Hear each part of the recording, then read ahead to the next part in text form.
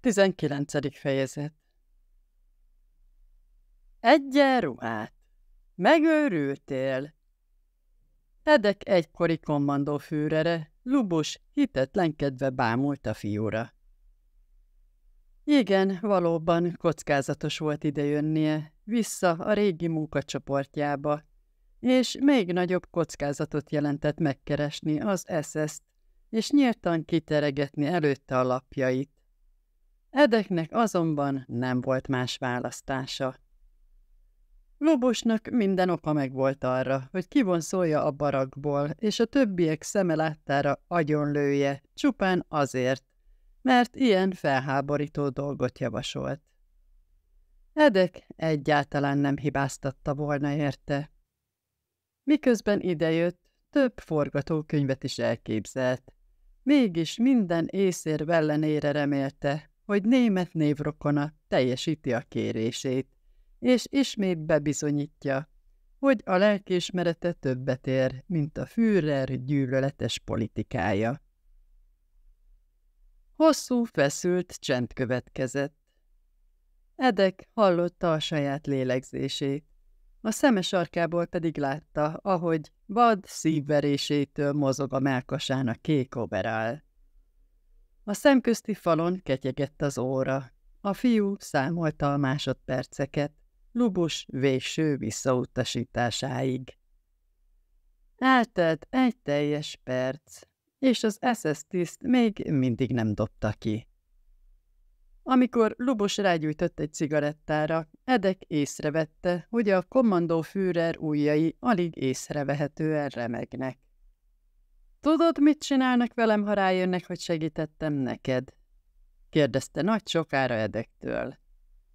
Egyszer már elküldtek a büntetőtáborba, a nagy szám miatt, és mert megvédtelek titeket a feletteseim előtt. Mielőtt elengedtek és ide küldtek Auschwitzba, figyelmeztettek, hogy másodjára már nem lesznek ilyen elnézőek. Akkor már a keleti frontra megyek. Edek érezte, hogy elönti a vér az arcát, elfordította a tekintetét. Szinte már megbánta, hogy megkérdezte. Tisztában volt azzal, hogy az SS Stutthof Mackába küldte Lubust a büntetőtáborba.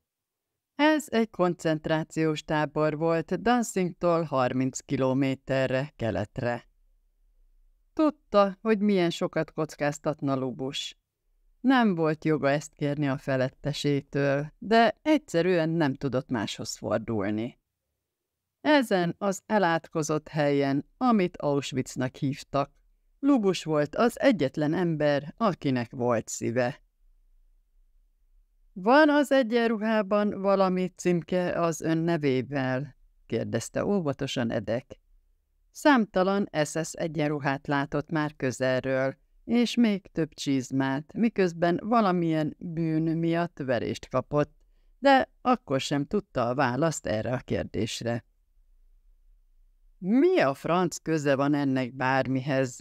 Mordult fel a tiszt bosztosan, aztán mindkét orjukán kifújta a füstöt. Azt a címkét egy pillanat alatt le lehet venni. Nem ez a baj. A gond ott kezdődik, ha elfognak. Már pedig csak idő kérdése, hogy elfogjanak. Akkor olyan kihallgatásban lesz részed, amihez képest Vasek Kápó korbácsa vagy a büntető blokk gyerekjátéknak tűnik majd. Fogalmat sincs, mire képes a politikai osztály. És biztosan el fogod árulni nekik, kitől kaptad az egyenruhát. Edek mereven nézett a férfi szemébe. Azt sem mondtam el, hogy kitömítette el a gépet, ugye? Lubus nem válaszolt. Még csak nem is nézett Edekre, inkább az íróasztal a sarkán álló fényképet bámulta. Edek számára ez reményre adott okot. Már látta azt a fotót, az esküvői fénykép volt. Lubus az ünnepi egyenruhájában a lengyel feleségével. A képen nem a kamerába néztek, hanem egymásra. A szemükből csak úgy sugárzott a végtelen gyengétség. Herr Unterscharführer, inkább meghalok a kínzástól, de nem fogom elárulni önt. A szavamat adom, mondta ismét idegesen kiszáradt szájjal. Hozzá vagyok szokva a fájdalomhoz, bármit kibírok. Ön is látta a saját szemével. Eltörhetik az összes csontomat, akkor is a sírba viszem magammal a titkom, Herr Unterscharführer. Könyörgöm. Ó, fogd már be! Lubus hátra tolta a székét, és oda ment az ablakhoz, csak hogy ne kelljen Edek könyörgő szemébe néznie. Így beszélt tovább, hátat fordítva a fogolynak. Te egy jó munkacsoportban vagy, túl fogod élni. A háborúnak hamarosan vége lesz. Németország veszít, és ez már csak időkérdése. A szovjetek kegyetlen csapásokat mérnek ránk, az afrikai hadműveletek udarccal végződtek. A szövetséges csapatok elfoglalták Olaszországot. Hirtelen szembefordult Edekkel. Nem tudsz várni még néhány hónapot? Maximum úgy egy évet. Miért teszel most mindent kockára, miközben megvan az esélye, hogy élve kikerülsz innen? Edek nem hamarkodta el a választ. Fontos volt, hogy a megfelelő szavakat találja meg. Gondosan megnedvesítette az ajkát, mielőtt beszélni kezdett. Herr Unterscharführer, maga SS tiszt. Lubos arcán undor suhant át egy pillanatra. Nyilvánvaló volt, hogy nem örül neki, hogy erre emlékeztetik. Nem állt szándékomban megsérteni önt, magyarázta sietve Edek. Csak azért mondtam ezt, mert bizonyára ön is részt vett valamiféle ideológiai kiképzésen. Amikor a férfi nem tiltakozott, Edek folytatta. Akár egyetértett vele, akár nem, azért hallotta, amit a parancsnokai súlykoltak. Gyanítom, hogy ugyanazt mondták, amit a kollégái nyíltan a fejünkhöz vágnak, hogy mi férgek vagyunk, akiket ki kell írtani. Parazitaként szívják a német nemzet vérét, és mi vagyunk az állam ellenségei. Lubos erre sem szólt semmit, csak szívott egy nagyot a cigarettájából, és a csizmáját bámulta. A szemében gyötrelem kavargott. Nem tudom, milyen utasításokat adtak önöknek ezzel a bizonyos táborral kapcsolatban, folytatta Edek. Én is hadseregben voltam, vagyis a tengerész akadémián, de sejtem, hogy a lényeg mindkét helyen ugyanaz. Úgy gondolom, hogy nagy valószínűséggel nem vitatták meg azt a lehetőséget, hogy mi történik, ha a szovjetek megérkeznek erre a helyre, mert nem akartak pánikot kelteni a csapatok között. Mindketten tudjuk, hogy amit a táborvezetés itt művel, az ellenkezik mindenféle emberi törvényjel, és hogy az ön parancsnokai bármit megtennének, hogy megakadályozzák, hogy híre menjen a világban, mi történik itt, Auschwitz falai között. Hát nem ezért van az a rengeteg biztonsági intézkedés. Úgy értem, Himmler vagy Hitler tényleg annyira aggódna egy vagy két szökött fogoly miatt. Nem nagy veszteség a munkaerőben, ha belegondolunk. Nem. Azért van ez a sok őrtorony, a dupla áramos szöges drótkerítés, az állandóan pásztázó reflektorok, hogy ne szökhessen innen ki senki, aki elmondja a történetét. Ez rémíti meg őket a legjobban, hogy a világ tudomást szerez az itt folyó atrocitásokról és szisztematikus gyilkolásról. Lumpus egyre jobban elsápadt. A cigarettát tartó keze ezúttal már láthatóan reszketett. Csak a szeme nem mozdult. Üvegesen és rémülettel telve bámult a semmibe, mintha csak most jött volna rá, hogy ő maga is egy együttműködő fogaskerék a tömeges megsemmisítés gépezetében.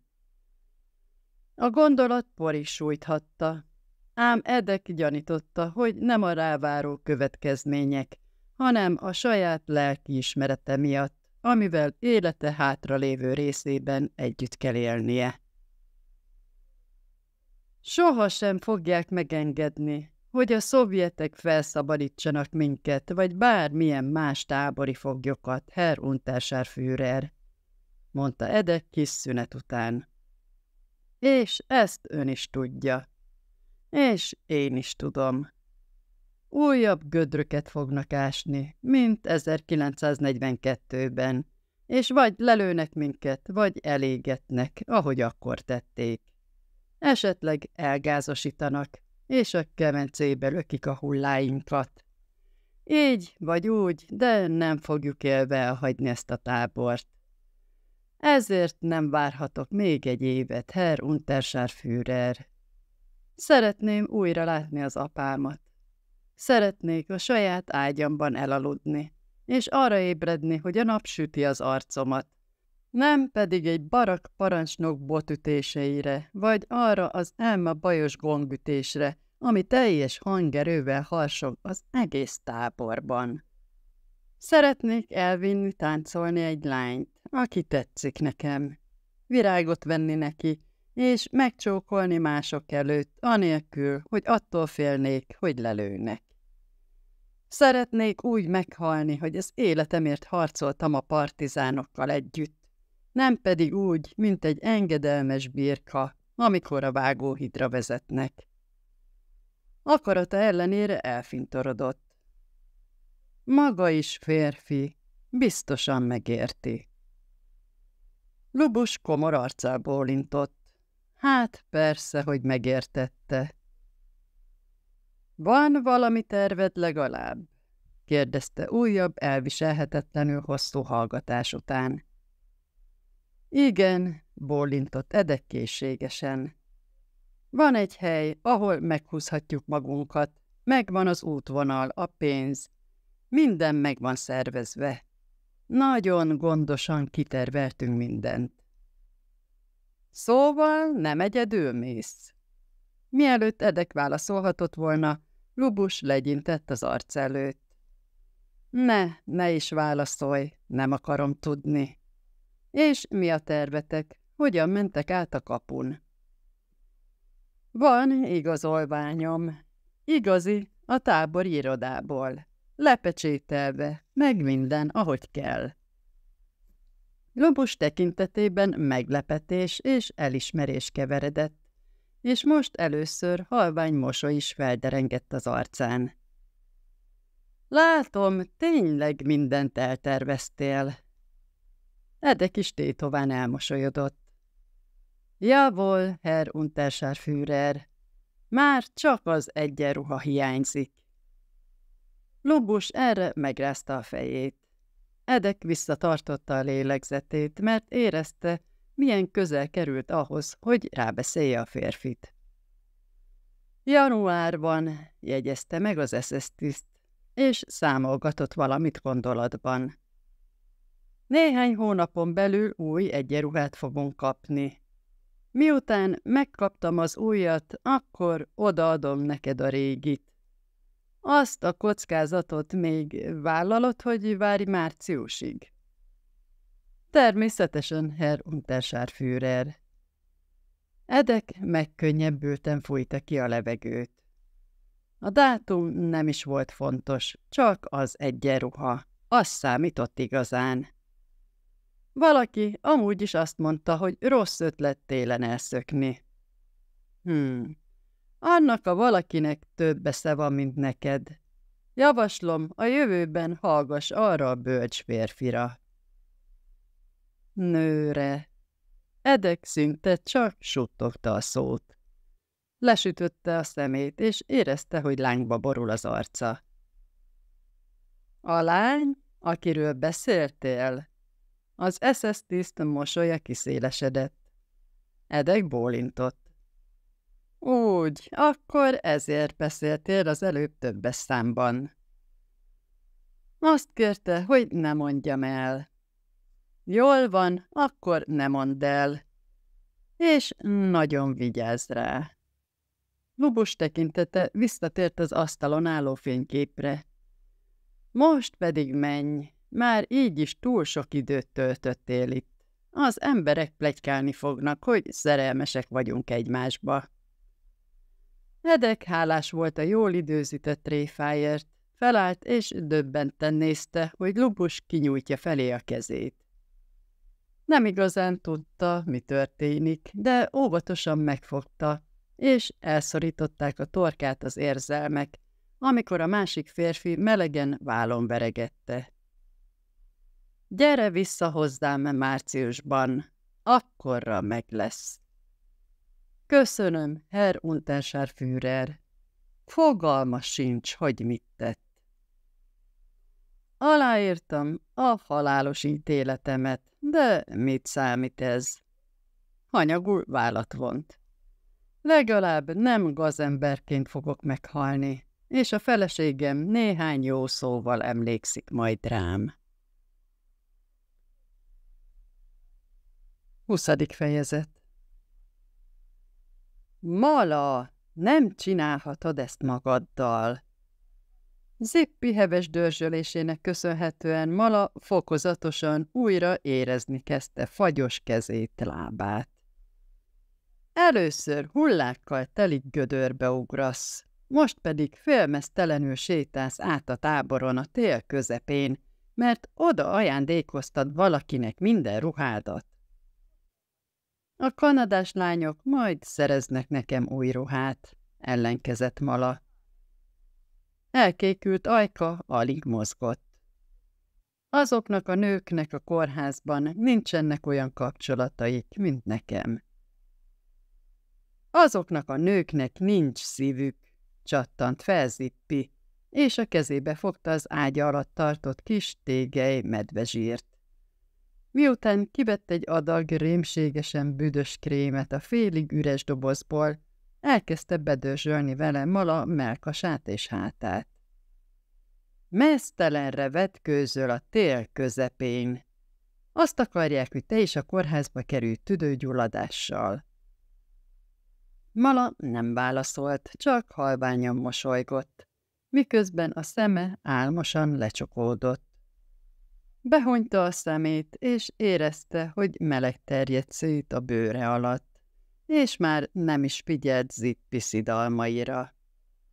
A lány amúgy is sejtette, hogy süket fülekre talál, amit mond.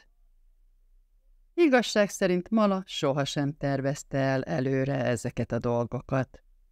Nem szándékosan rendezte úgy, hogy hullákkal teli gödrökbe ugorjon, ahogy Zippi fogalmazott, mint ahogy az sem, hogy megváljon a kabátjától, amikor elindult a kórházba, hogy elvégezze az ottani feladatát.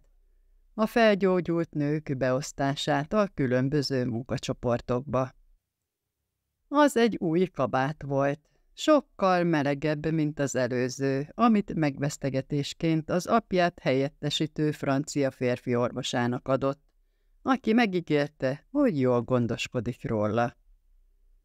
A szlovák lány azonban olyan szívszaggatóan zokogott, amikor Mala közölte vele, hogy a gazdaságban kell majd dolgoznia.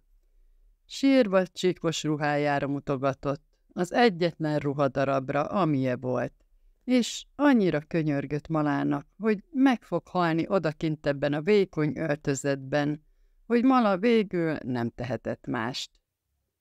Ezt a munkacsoportot a jobbak közé sorolták, ha bár szabadtéri volt. De onnan legalább lehetett ennivalót szerezni, ha az ember tudta, hogy hogyan csenje el a kápó orra elől. Ráadásul a munka sem volt túl megerőltető. A szlovák lány azonban nem volt hajlandó mindezt belátni. Így hát Mala levette a teveször kabátját, tehetetlenül odaadta neki, és közölte a lányjal, hogy takarodjon kifelé.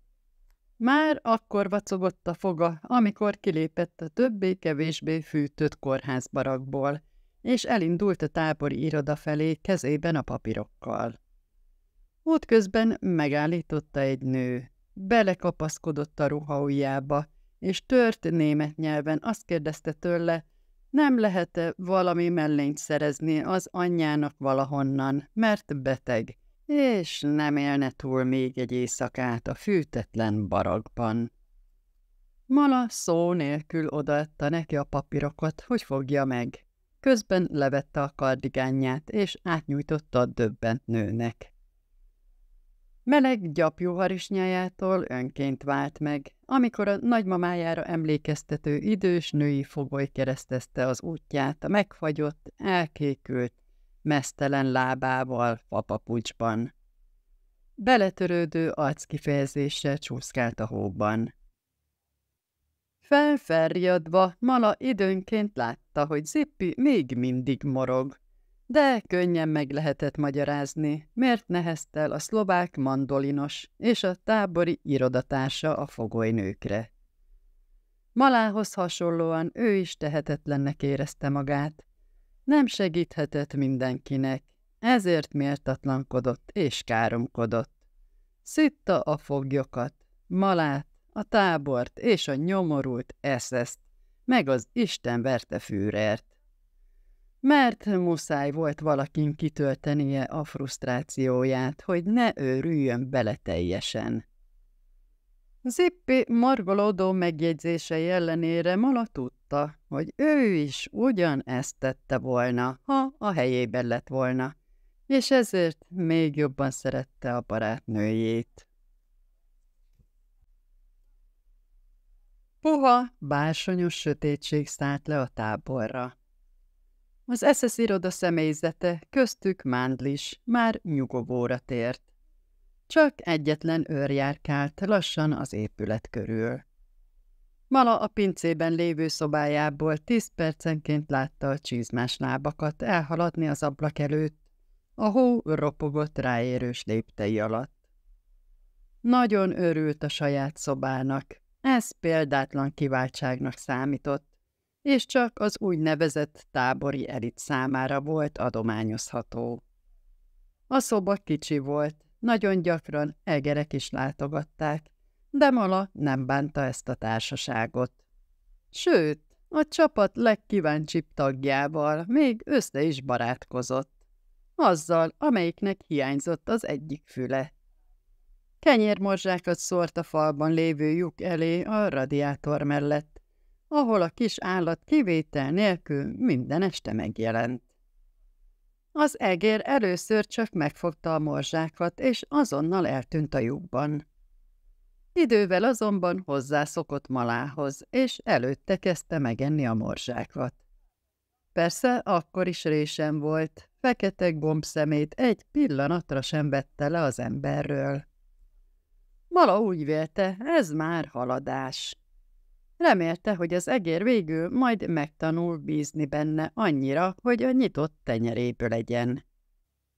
Nevetségesen hangzott, de titokban ez volt az álma, hogy legyen egy saját kis állat a Birkenauban, még akkor is, ha csak egy egér.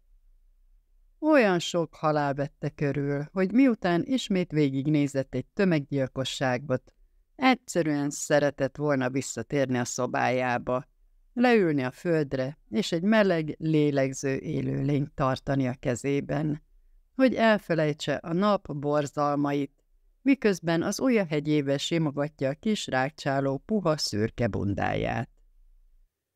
Bizonyára eltelt még tíz perc, mert az őr tett egy újabb kört. Mala azonban egy másik csizmás lábat várt. Néhány nappal korábban megtanította Edeknek, hogy hogyan lopozzon ide észrevétlenül, és melyik ablakon kopogjon, hogy be tudja engedni. Enyhén szólva kockázatos vállalkozás volt. A járkáló őr azonban túlságosan lusta és kiszámítható volt, és sok honfitásával ellentétben nem volt szokása először lőni, és csak aztán kérdezni. Még ha el is kapná edeket, Malak könnyedén megmagyarázhatná, hogy mit keres az iroda épület közelében. A pincében csöpögött az egyik cső, amit csak éjszaka lehet kicserélni, hogy reggel az SS személyzet a meleg irodába térhessen vissza. Szerencsére az őr nem volt túl lelkes, és becsületbeli kérdést csinált abból, hogy soha ne végezzen több munkát, mint amiért megfizették. Vala és Zippi egyaránt több vendéget is csempészett már be a szobájába, és az SS katona még egyszer sem próbált utána járni, hogy ki az. Ismerős kaparászás hangja ütötte meg Mala fülét.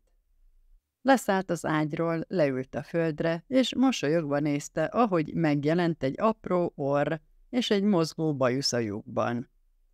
Ezután egy apró rózsaszín mancs következett, a másikat félbe tartotta a levegőben. Mala egyáltalán nem vett levegőt. Aznap este tett egy kis sajtot is az egér szokásos adag szürke, tábori kenyérmorzsái mellé. A sajtot viszont távolabb tett a lyuktól, szinte oda, ahol most az ő lába volt.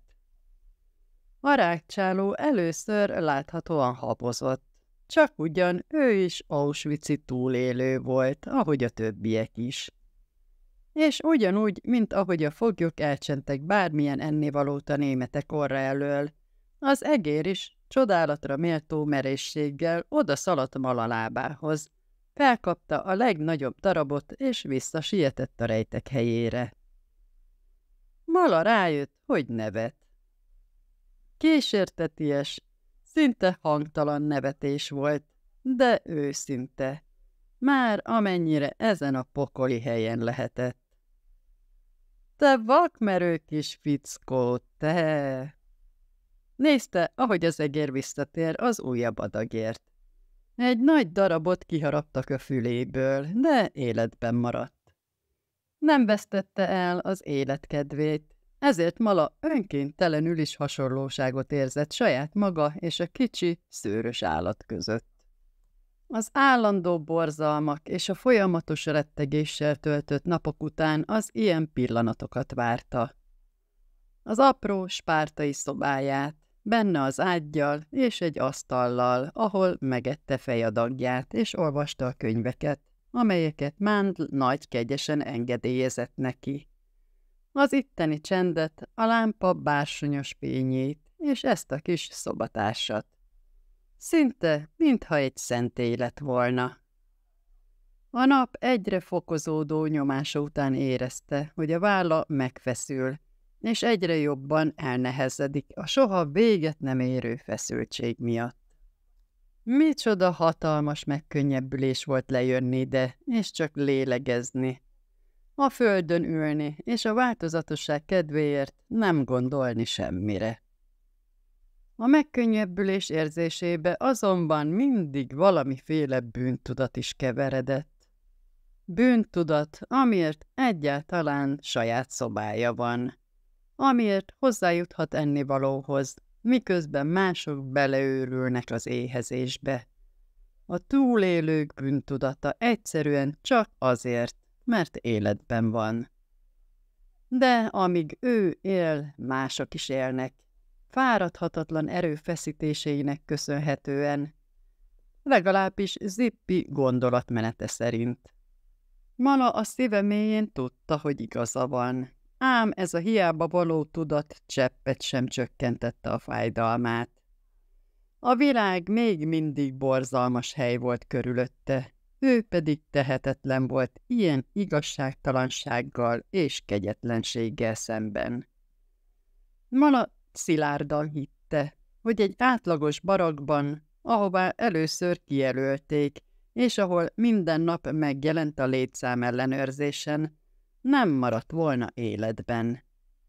Megőrült volna a körülötte lévő emberektől, akik állandóan sírtak, könyörögtek, és a szem előtt haltak meg. Ami azt illeti, most mindenki akart tőle valamit. Ő volt Mala, a tábor vezetés kedvence. A lány a listákkal, aki elintézhette az átirányítást egy olyan munkacsoportba, ami garantáltan életet vagy halált jelentett. Ő volt az a lány, aki mindig kenyeret vitt magával, hogy másoknak oda csempésze. Ő volt az, aki szabadon járkálhatott a táborban, és üzenetet vihetett a szerelmesek között. Csak meg kellett húzniuk a ruha ujját, amikor elment mellettük. Könyörgő szemmel nézni rá, és már is odaadta a kenyerét. Elvitte az üzenetet, vagy megígérte, hogy utána néz, mit tehet a rettegett áthelyezés ügyében. Zeppi állította, hogy kihasználják őt. Mi nem valami mindenható istennők vagyunk, jelentette ki. Megvan a határa annak, hogy mit tehetünk meg a szegény ördögökért. Mala mégsem tudott nemet mondani. Meghallgatta a foglyok bajait, még akkor is, ha neki magának is túl sok problémája volt. Odaadta a fejadagját, amit magának tett félre. Soha sem utasított vissza senkit, ha csak tényleg nem volt már mit tenni az értekében. De még akkor is elment Mounthoz, vagy Hesslerhez, és könyörgött egy fogolyért, akit alig ismert. Azzal indokolva, hogy pótolhatatlan munkaerőt jelent, és a tábornak nagyon nagy hasznára válna, ha életben hagynák. Sürgető kopogás hangzott fel, ami kizökkentette a töprengéséből. A szíve izgatottan dobogni kezdett. Ragyogó szemmel felpattant, intett az ablak mellett guggoló edeknek, hogy maradjon ott. A következő pillanatban mezitnáb végig szaladt a folyosón, mint egy néma macska, hogy kinyissa az ajtót, ahol a szénhordó kommandó behozta a tüzelővel teli zsákokat. Edek árnyos alakja alig látszott onnan. Mala arra gondolt, hogy a férfi már elég sok évet töltött a táborban ahhoz, hogy elsajátítsa a környezetbe olvadás életmentő képességét. Lassan elindult Mala felé, a falhoz lapulva, távol a földet pásztázó reflektoroktól, mintha egész életében azt gyakorolta volna, hogy hogyan váljon láthatatlanná, amikor csak akar. Mala most először gondolt arra, hogy talán valóban sikerre jár a vakmerő terve. Már is jó partizán volt. Ha kapna egy puskát, egyenesen kiváló lenne. Értelen vágyakozást töltötte el a gondolatra, hogy a férfi egy nap majd eltűnik, alig, hanem örökre, és soha többé nem fogja látni ragyogó szemét és a mosolyát. Soha többé nem tudja megfogni a kezét.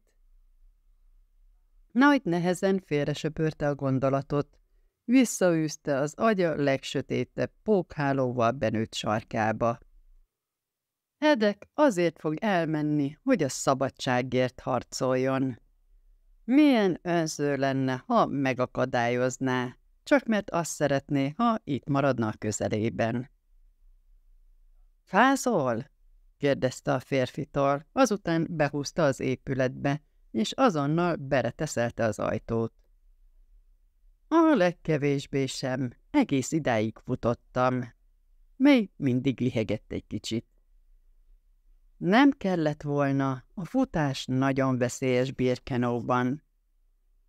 Már rég megtanultam, hogyan kerüljem el a reflektort. Nem volt dicsekvő a hangja, sőt, ami azt illeti, inkább lehangolt. Mala is lesütötte a szemét, miközben a szobája felé vezette őt. Mesztelen lábával hangtalanul tipegett a betonpadlón. Milyen remek helyed van itt, jegyezte meg Edek hogy témát váltson, mert zavarba jött. Mire számítottál? A tábori elit tagjai vagyunk. Mala vidámságot erőltetett a hangjába. Ritkán jött természetes módon, minden mosoly a könnyeken keresztül ragyogott. A vidámság csak megjátszott volt, hogy felvidítsák egymást, miközben az egész világ darabokra hullott körülöttük. Az akasztófa humort a nem is olyan messze álló, valódi akasztófák is lették. Csak várj, amíg meglátod az én szobámat. Sárgulni fogsz az irítségtől. Szimpadias mozdulattal kinyitotta a szobája ajtaját. Edek megállt a küszöbön, láthatóan lenyűgözte a látvány, mert elismerően füttyentett is hozzá. Nem is csoda, hogy nem akarsz elszökni velünk. Én sem akarnék elmenni innen, ha ilyen helyen laknék. Mala felnevetett, hálás volt a tréfálkozásért. Nos, ha most a civilizált társadalomba lennénk, megkérdezném, hogy nem vagy-e éhes, mielőtt megkínállak valamivel. De mivel itt vagyunk, ebben a pokolban, ez gyakorlatilag magától értetődik. Szóval odahúzta az egyetlen széket a férfinak, hogy üljön le. Foglalj helyet. Egy pillanat, és hozom. Edek nézte, ahogy a lány letérdel a földre, és kihúz egy dobozt az ágy. Tágra nyílt szemmel bámult, ahogy Mala mindenféle finomságot vett ki belőle, és tett le elé. Nos, ezt mindet nem heted meg egyszerre. Az szó szerint megölne, közölte tárgyilagosan, miközben döbbent vendég elé helyezett néhány doboz szartiniát, füstölt szalámit, lekvárt és mézet. De nyugodtan válasz ki néhányat, amit a legjobban szeretsz, a többit pedig eltesszük későbbre. Ahogy már mondtam, fel kell hízlalnunk téged, mert hitelesen kell alakítanod az SS katonát. Szóval láss hozzá. Majd apránként emeljük az adagokat. Májusra úgy fogsz kinézni, mint egy igazi német tiszt, aki majd kicsattan az egészségtől.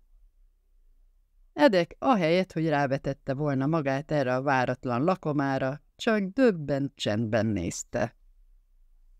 Ezt mind loptad? kérdezte végül, amikor magához tért.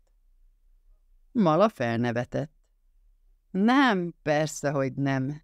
Nekünk kiváltságok járnak. Az egyik ilyen, hogy dupla fejadagot kapunk, és Mándl néha megengedi, hogy eltegyünk magunknak egy-egy vörös keresztes csomagot. Ez mind Svájcból jön. A vörös kereszt ennivalót küld nekünk? Nem is tudtál róla, ugye? Szigorú arcvonásai gúnyos pintorba torzultak. Azért, mert a legtöbbje az SS-hez vándorol, és csak egy kis része kerül a kiváltságos foglyok kezébe, mint amilyenek mi is vagyunk. Azok azonban, akiknek a legnagyobb szükségük lenne rá, szinte nem is tudnak róla. Papíron persze minden tökéletesen rendben van. Edek ismét az ennivalóra nézett, azután malára, és kétkedve mérte végig magas, vékony alakját. Láthatóan nem tudta felfogni, hogy egész idő alatt ilyen finomságok vannak a birtokában, mégis olyan fájdalmasan vékony. Mala, mintha kitalálta volna a gondolatait, némi bűntudattal vegyes mosolyt villantott rá. Nagyon keveset eszem meg belőle, szóval ez most mind a tiéd. Edek már a fejét rázta, és eltolta maga elől az ennivalót mala felé, annak ellenére, hogy az érzékeit megtámadó, incsiklandó illattól már beindult a nyál elválasztása. Nem, nem fogadhatom el. Jó, akkor megromlik. Mara közömbösen vállat vont. Edek értetlenül pislogott. Nyilvánvaló volt, hogy nem kerülhetik el a beszélgetést, és a férfi egy falatot sem fog a szájába tenni, amíg nem ad rá megfelelő magyarázatot. Mala ezért hosszan kifújta a levegőt. Valószínűleg úgy gondolod majd, hogy ennek semmi értelme, de azért nem eszem meg ezeket, mert itt túlságosan zőrzavaros az élet. Hát, igazad van, ennek tényleg semmi értelme. Mala felnevetett. Túlságosan zűrzavaros az élet, ezért soha nem tudom, mire számítsak. Tudom, nem kellene panaszkodnom, mert nem a kinti munkacsoportban dolgozom, ahol beleszakadnék a munkába. A bunagyárban naponta több százan halnak meg robotban. Az én esetemben nem a fizikai teher a nagyobb, hanem az érzelmi. Bár mennyire is próbálok a lehető legtöbb fogolynak segíteni, Az emberek ennek ellenére meghalnak, én pedig tehetetlennek érzem magam. Tehetetlennek és bűntudatom van, amiért nem tudok többet tenni értük. Így hát, kétszer olyan elszántan csinálok mindent, próbálok mindent elkövetni, ami tőlem telik, de ez soha nem elég. Egyszerűen nincs befolyásom a legtöbb dologra. Az evés viszont, vagy inkább mondjam azt, hogy a nem evés, az egyetlen dolog, ami fölött én döntök, és csak ezt tudom felhasználni, hogy kevésbé érezzem magam tehetetlennek. Az ennivaló többségét általában azoknak adom, akiknek nagyobb szükség van rá, vagy ezzel vesztegetek meg kápókat, hogy cserébe szívességeket vagy gyógyszereket kérjek. És tudod, ettől egy kicsit jobban érzem magam. Nincs olyan nagy bűntudatom. Ezeket itt viszont kimondottan neked tettem félre. Az arcára kiülő halvány mosoly nem tükröződött Edek arcán. Sőt, a férfi szinte elgyötört tekintettel nézett rá. Mala, nem lenne szabad magadat büntetni azzal, hogy nem eszel, mondta neki végül gyengéden. Ami azt illeti, inkább mindent meg kellene enned, amit kapsz, hogy minél hosszabb ideig itt lehess, és még több embernek segíthess. Szükségünk van rád. Mit érsz el azzal, ha halára éhezteted magad? Nem érdemlem meg, hogy egyek, miközben a többiek éheznek, tiltakozott szintelen hangon. Nekem sem lenne szabad többet ennem, mint egy átlagos fogolynak. De hiszen ez őrültség. Egy átlagos fogoly egy nap csak egy kis rohadt marharépából készült levest kap, meg egy darab száraz kenyeret. Látod? Mala karba tette a kezét. Egyenruhájának blúza alatt a résen át egyértelműen látszott élesen kirajzolódó kulcsontja. Már is többet eszem, mint kellene, mert az irodában rést és krumplit kapunk. Innentől kezdve még azt az adagot is csökkenteni fogom. Nem, nem ezt akartam. Edek csüggetten elhallgatott. Mit tettek veled? Mala látta a kimondatlan kérdést a férfi megtört tekintetében. Mindketten tudták, hogy ez nem val normális vagy észszerű gondolkodásra. Mara mindig is büszke volt arra, hogy képes eltitkolni, mennyire összetörték a lelkét. Gondosan felépített, áthatolhatatlan páncért vont maga köré. Edek azonban átlátott rajta, és Mala most először nem bánta, hogy felfedi a gyengeségét valaki előtt, aki nem fog vele visszaélni. Inkább támogatja, megérti, amire már oly nagyon szüksége volt ezen a helyen, ahol mindenki csak saját magával törődött.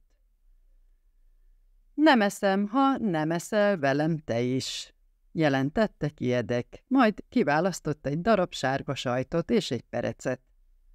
Minden falat előtt, amit a számba teszek, neked is harapnod kell egyet. Mala csak bámult rá, a tekintetében vádizott. Azonban akarata ellenére melegség terjedt szét a melkasában, mint egy puha simogatás, amikor belenézett Edek szemébe, mert a férfi őszintén törődött azzal, hogy ő éle vagy meghal.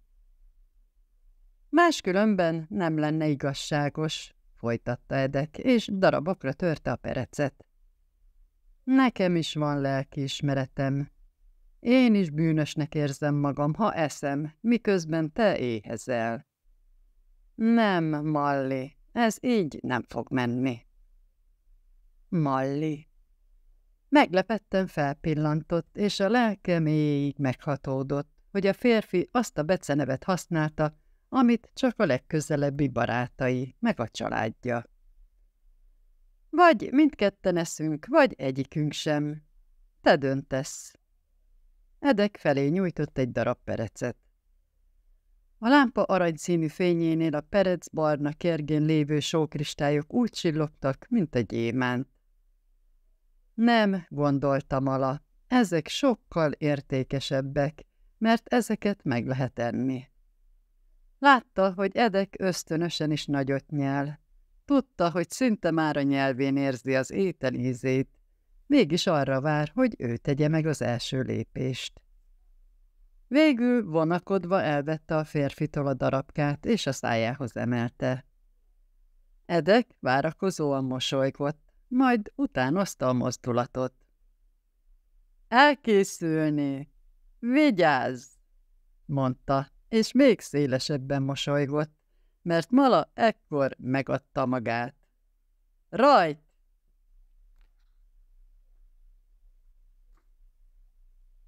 Lobos kommandófőrer megígérte, hogy ad nekem egy egyenruhát, mesélte Edek, miután befejezték a szerény lakomát. Mala felkapta a fejét. Te elmondtad neki a tervet?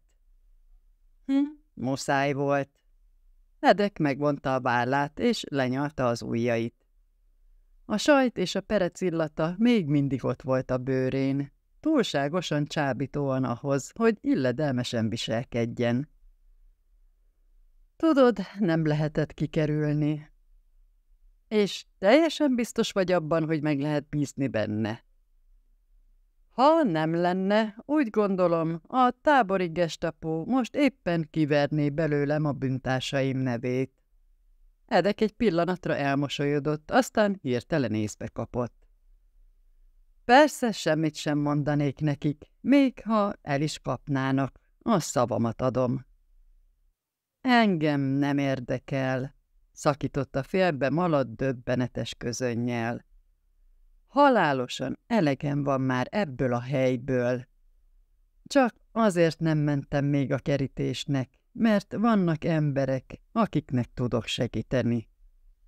Ha kineveznek a helyemre valami kollaborást, számukra örökre elvész minden. Ha valaki úgy dönt, hogy felakasztat az appelplacon, mert segítettem neked, őszintén szólva szívességet tesz nekem. Edek előrehajolt, hogy megfogja a kezét, de az utolsó pillanatban mégsem tette. Mindennél jobban vágyott rá, hogy megérintse a lányt, de a körülmények túlságosan bensőségesek voltak, a fény pedig túl kevés. Valami miatt ez megrémítette. Úgy érezte, mintha egy képzeletbeli szakadék szélén egyensúlyozna, ahonnan nem lehet visszatérni. Mert ha egyszer a nőhöz köti magát, onnan már nem lesz visszaút. Onnantól kezdve csak ő fog létezni számára, vagy semmi az égvilágon. Minden más egyszerűen megszűnik, elveszíti az értelmét, ha Mala nincs mellette. Akkor gyere, és szökj el velünk. Ez a hely tönkretesz téged, mind testileg, mind lelkileg. Gyere velünk! Már megszerveztük egy civillel, hogy menedéket és civil ruhát ad nekünk. A terved csak két férfira jó. Mala ferdén mosolygott.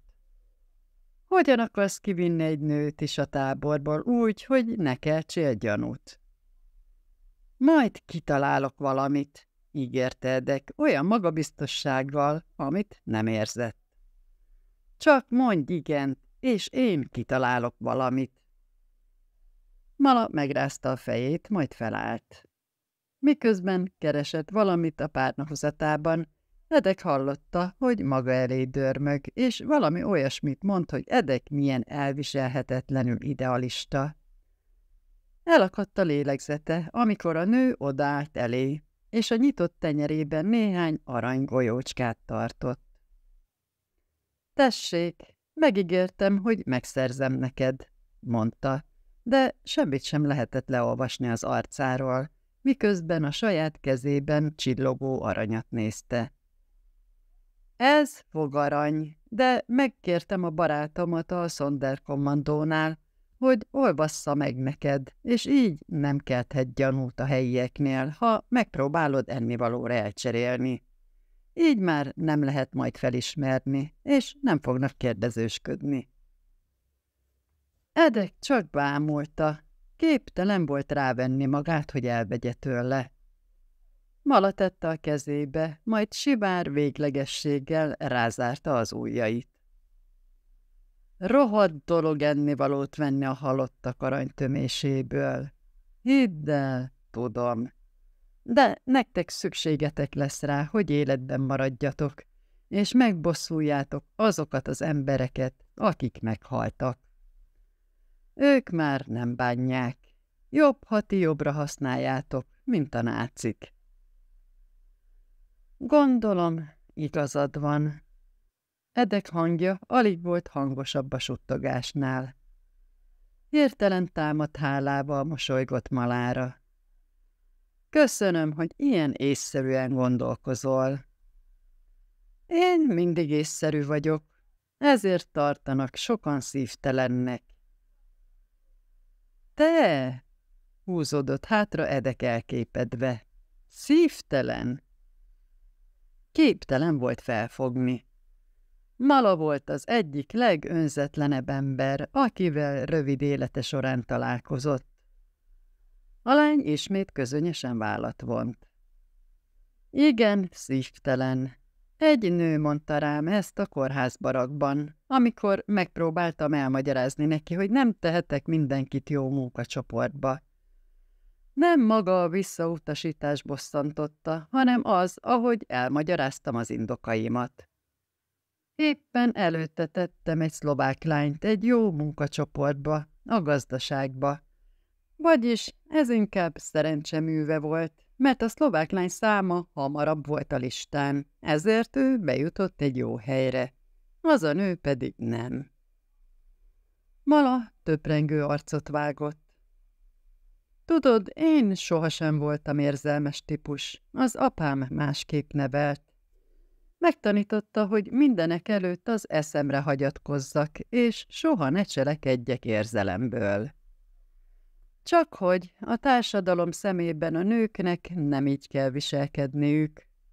Nekünk könyörületesnek kell lenni, empatikusnak, segítőkésznek és gondoskodónak. És nem azt akarom mondani, hogy én nem vagyok ilyen, csak ö, nem ezt mutatom kifelé.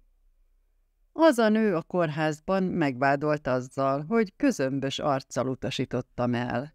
Azt vágta a fejemhez, hogy én nem sajnálom őt, csupán azért, mert nem látszott az arcomon a sajnálat.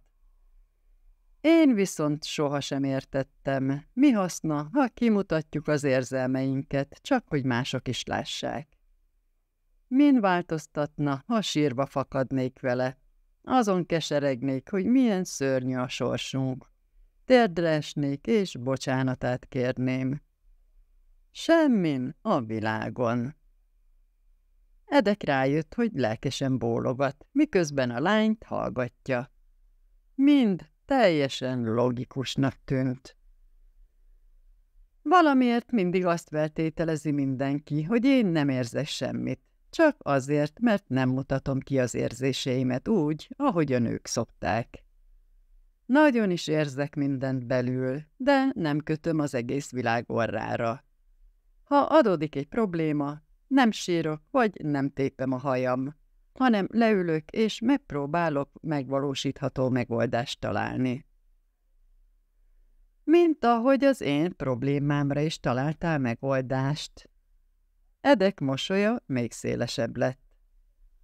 Malak kisé meglepetten nézett fel rá, de aztán az ő szája sarka is felfelé görbült. Igen, mint ahogy a tiédre is találtam megoldást. És örülök, hogy így látod. Sokan gyűlölik, ha egy nőnek hideg és logikus a gondolkodás módja. Nos, szerintem neked csodálatos az elméd. Nem szeretnélek annyira, ha nem ilyen lennél. Bukott ki hirtelen Edek száján, majd rémülten elhallgatott, mert rájött, hogy mit vallott be az imént. Mala először nem felelt semmit, csak titokzatos és egyre szélesebb mosolyjal nézett rá. A szoba félhamájában borostyán színű szeme szinte feketének tűnt. Nem kell annyira elsápadnod, jegyezte meg végül. Én is nagyon kedvellek. Habár nem azt mondta, hogy szeretlek, Edek mégis úgy vigyorgott rá, mint egy idióta, míg az asztalon fekvő tenyerében tartott aranyról is megfeledkezett. Nem számított, milyen szót használt. Az érzelem ott volt a szemében. Auschwitz-i veterán lévén Mala a tekintetével közvetítette azokat a szavakat, amiket túlságosan félt kimondani. Az érzelmi kötődés nagyon veszélyes dolog volt ezen a helyen. Az volt a legokosabb, ha az ember távol tartotta magát másoktól, amíg már nem tudott parancsolni a szívének, ahogyan többé már ők sem tudtak. Van esetleg barátod, aki várod a haza? Puhatolózott Edek óvatosan, és észre sem vette, hogy visszatartja a lélegzetét. Barát? Mala mosolyogva felmondta a szemöldökét. Nagyon sok barátom van otthon, akik várnak rám. Úgy értem, egy fiú, pontosított Edek kényszeredetten. Mala már halkan nevetett, és Edek is csatlakozott hozzá. Miért? Azt akarod tudni, hogy van-e üresedés? Ugratta ismét Mala, mert hirtelen játékos kedve támadt. Még ha üres is lenne a pozíció, miért elmennek? Néhány hónap múlva elmész tőlem. Csak szólnod kell, és én itt maradok, felelte Edek, és magát is meglepte, milyen elszánt a hangja, mert rájött, hogy komolyan így gondolja. Mala lassan megrázta a fejét. Soha nem akadályoznám meg a szabadságodat. Edek felállt a székről, és odalépett hozzá. Hát nem érted? kérdezte végtelen gyengétséggel, majd a nő karjára tette a kezét. Amióta megismertelek, már nem vagyok szabad. És tudod mit? Ez a legjobb nem szabadság, amit az ember csak kérhet magának. A lány felé hajolt, és lágyan megcsókolta az arcát. Amikor azonban el akart húzódni, Mala átfogta a nyakát, visszahúzta magához, és az ajkára tapasztotta a száját. Edek minden kimondatlan szót érzett abban a csókban, minden rejtett érzelmet, amely sejmes bőre alatt rekett, minden ígéretet, amit szavak nélkül tett neki. Megrészegítette a mézizű ajka, a szoba forogni kezdett körülötte, szomjasan itta magába az ízét, és nem fogta vissza magát. Évek óta most először ébredt benne remény, hogy még nincs veszve minden. Ha mala, itt van neki, akihez visszajöhet. 21. fejezet Mihelyt Edek meghallotta, hogy Antoni Szimlak, a civil lengyel kapcsolatuk a női tábor kórházának fürdőjén dolgozik, azonnal megvesztegette a kápót, hogy őt és Viszlávot a fürdőszerelő kommandóba ossza be. Az öreg szintén örült, hogy mindkét honfitársa él és jól van. Szívélyes készfogással üdvözölte őket. A nap első felében nem sok lehetőségük nyílt beszélgetni, Csupán a munkával kapcsolatos megjegyzések hangzottak el közöttük. A kápók és a fogolytársak közelsége lehetetlenné tette. Amikor azonban megszólalt az ebédidőt jelző gong, Edek azonnal fogta étellel teli tálkáját, és a sarokba húzódott, ahol az idős férfi a hazúról hozott sonkás szendvicsét tette. Amikor Szimlak látta, hogy Edek közeledik hozzá, szó nélkül ketté törte a szendvicset, és az egyik felét átnyújtotta neki. Edek szintén ketté törte a részét, és a felét Viszlámnak adta, aki követte Szimlakhoz a sorba, miközben óvatosan egyensúlyozta leveses táját a kezében. Senki sem figyelt rájuk különösebben. A lengyelekről köztudott volt, hogy egymáshoz húzódnak, civil munkások és foglyok egyaránt, és nem keltett feltűnést, mint ahogy a zsidók és a lengyelek kapcsolata keltett volna.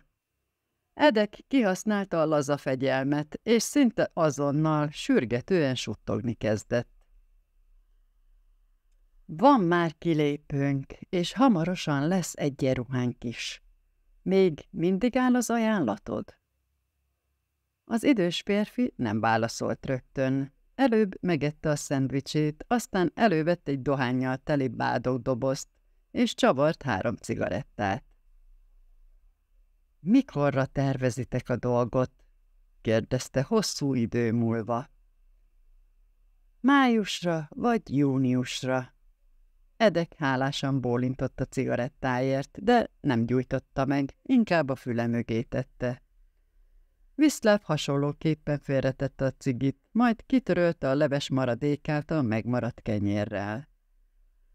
A lengyel munkás bölcsen bólintott, és közben vastag bajuszát pödörte. Az okos döntés. Nyáron az erdők sokkal sűrűbbek, bőven van búvóhely. Edek riadtan felpillantott erre a megjegyzésre. Igen, természetesen. Ezt már megbeszéltük. Elkerülünk minden főbb utat, és az erdőben haladunk tovább, miután elhagytuk a házat. Szimla karcát kutatta, miközben az idős férfi dohányzott, és elgondolkodva merett maga elé. Edek hirtelen zavarba ejtőnek találta, hogy a férfi kerüli a szemkontaktust. Még mindig úgy van, hogy segít az első éjszakán nekem. Nem vett levegőt, miközben Szimlak válaszát várta. Azt ígérte, hogy az első estén meghúzhatjuk magukat a pincéjében, és kapunk ruhákat. Nem gondolta meg magát, ugye? Szimlak szórakozottan megrázta a fejét. Nem, persze, hogy nem. Akkor május vagy június. Láthatóan nagyon erősen gondolkodott valamin, miközben a bajusza alatt az ajkát harabdálta. Hirtelen, mintha észbe kapott volna, felderült arccal nézett a két barátra. Addig is nincs valami, amiben segíthetek. Csempészek ki egy levelet a családnak talán? Vagy kértek még ilyet? Az üres újságpapírra mutatott, amelyen még mindig lehetett érezni a sonkás szendvics és a házi kenyér incsiklandó illatát. A lányom készíti nekem. Edek arcából hirtelen minden vér kifutott. A lánya? Ismételte meg, és zúgni kezdett a feje, mint valami rossz álomban.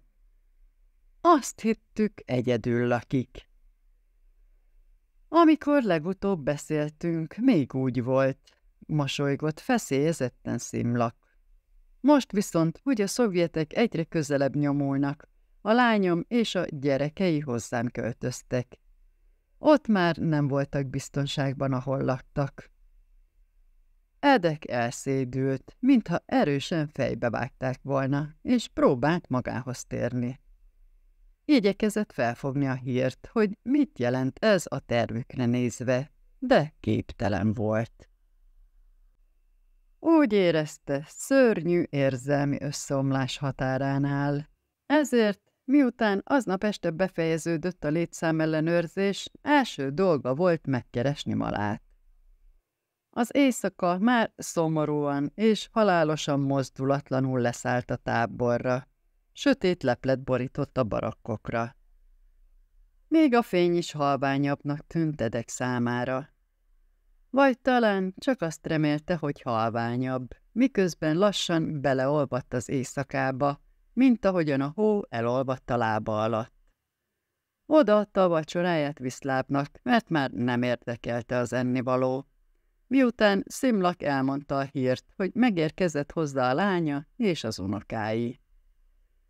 Edek szívesen elfogadta a segítséget egy egyedül élő, szimpatikus lengyeltől, aki hajlandó volt mindenre, hogy segítsen a szökött foglyoknak. Szimlak az értésükre adta, hogy hosszú és szép életet élt, és nem bánja, ha egy jó ügy érdekében kell meghalnia. De hogy tehetnék kockára Szimlak lányának és unokáinak életét nyugodt lelkiismerettel?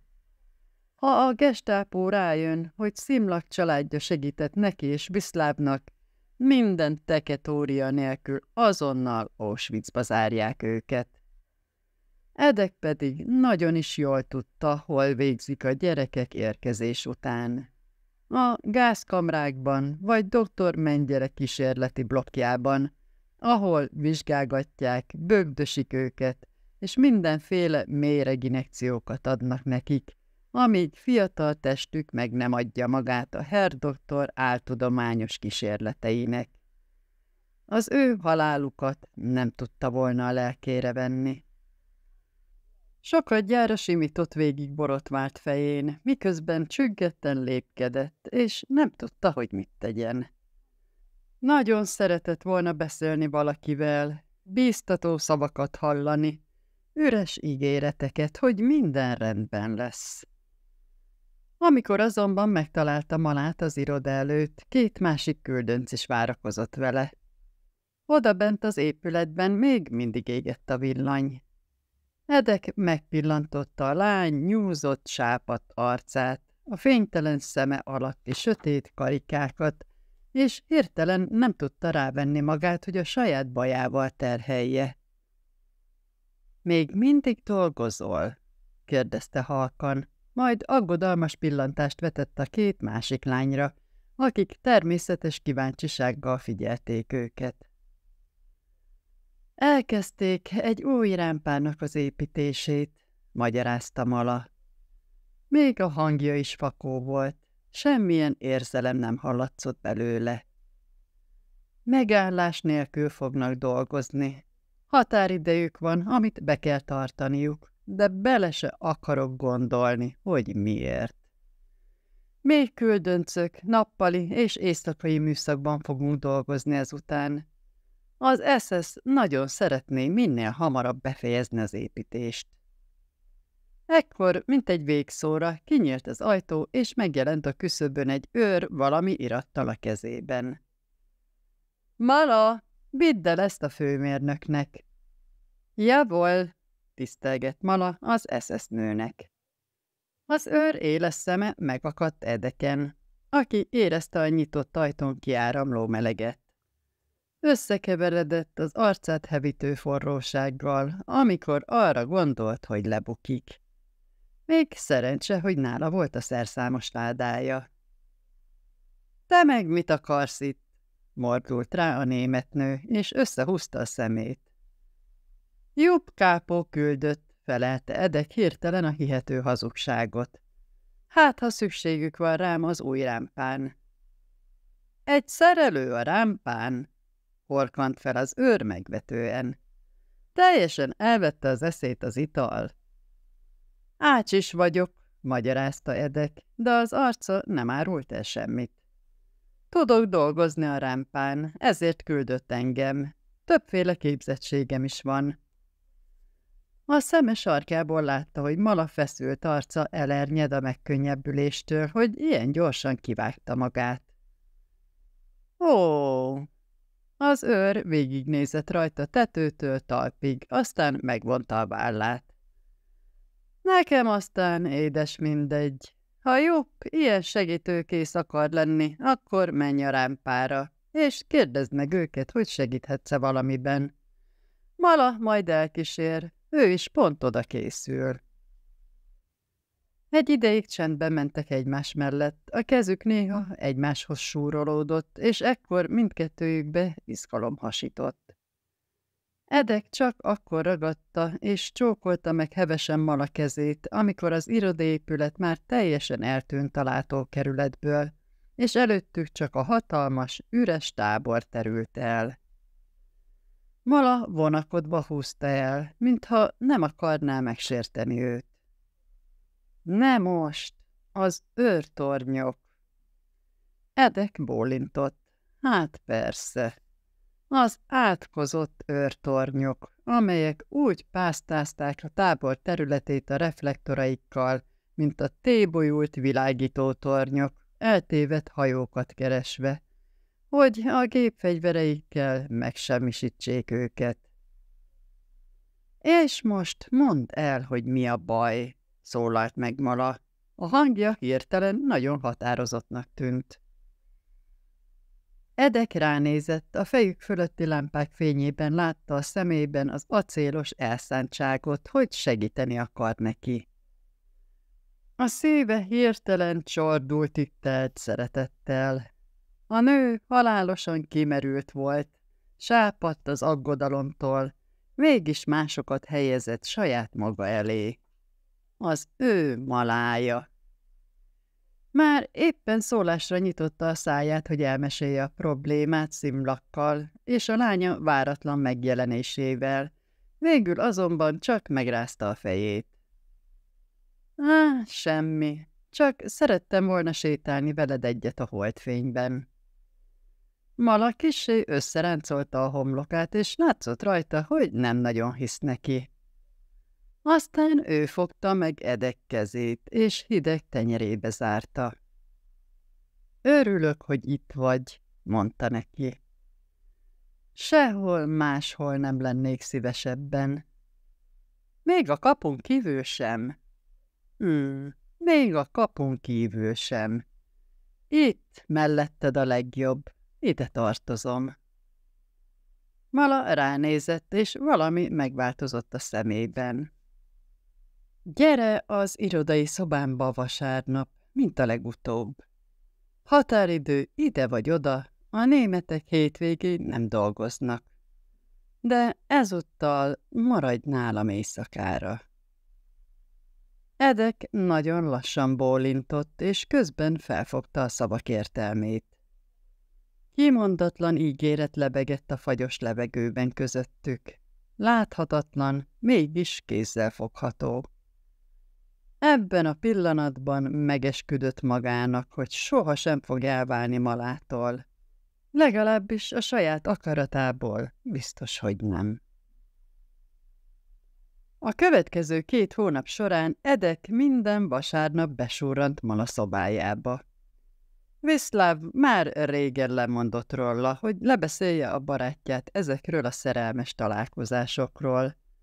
Ez nem a megfelelő hely vagy idő volt rá, és az aggodalmát inkább tréfásan fejezte ki. Megint kimaradsz éjszakára? Hát jól van, akkor megint egyedül alszom, mint egy király. Legalább nem fogsz idegesítően forgolódni mellettem. A barakparancsnok nem kérdezett semmit. Egyszerűen csak elfogadta a megvesztegetésként kapott citromot vagy szalámi darabot, és elfordította a fejét, amikor Edek kisúrant a barakból az éj leple alatt. Feltéve, hogy megjelent a reggeli létszám ellenőrzésnél, őt nem érdekelte, kinek a párnáján hajtja álomra a fejét a nyavajás Rómeó. Edek azonban egyáltalán nem hajtotta álomra a fejét. Megette a vacsoráját, és próbált nem fintorogni, amikor Mala ismét néhány megolvasztott fogaranyat csúsztatott a tenyerébe. Ott ült mellette a földön, az ágy lábánál a következő néhány órában. Kenyérmorzsát szórt az egérnek, amely egyre jobban megszokta ezt a két furcsán nagy lelkű embert. Olyasmiről mesélt a nőnek, ami már nem létezett, aztán olyanokról, amik remélhetőleg egy nap majd újra lesznek.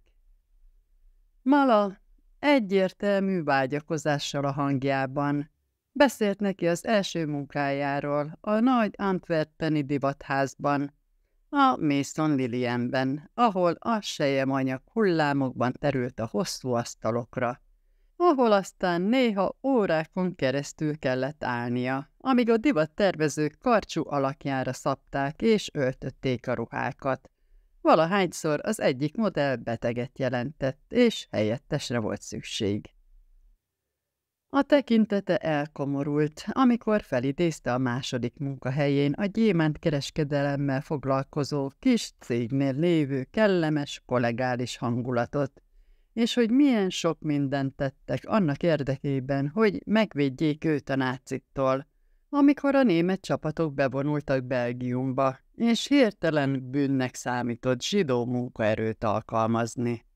Cserébe Edek beszélt neki a Pinszki Tengerészeti Akadémiáról, és hogy hogyan tréfeltek meg a fejebb valóikat.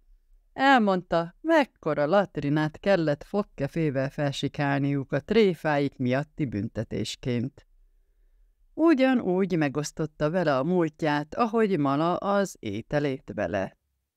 Nem tartott vissza semmit, és hamarosan az emlékei a nőé lettek, Malájé pedig az övé. Rájött, hogy már ismeri Belgiumot, pedig még egyszer sem járt ott, és kedvelte Mala apját, pedig még nem is találkoztak. Valamint megszerette Mala örökbefogadott Auschwitz-i apját, akiről a lány mindig olyan szeretettel beszélt. Szerinted kedvelne engem? Úgy értem, az igazi apád, kérdezte Edek egyszer félig viccesen. Mala szerint az auschwitz apja már is kedvelte őt, csupán azért, mert Edek miatt a fogadott lánya sokszor mosolygott egy olyan helyen, ahol a könnyek jóval gyakoribbak voltak. Azt javaslom, hogy kérdezd meg tőle te magad. Hmm, és mégis hogyan csináljam? Nos, felteszem, ahhoz először ki kell innen jutnod. Szerezni egy fehér csődört, aztán visszalovagolni a táborba a szovjet hadsereggel együtt, és megmenteni ezt a bajba jutott hölgyet. Mutatott magára. Póker arca egész végig szemtelen maradt. Azután lóháton el kell vinned a családi házba, ahol személyesen a családfőtől kérheted meg a kezem.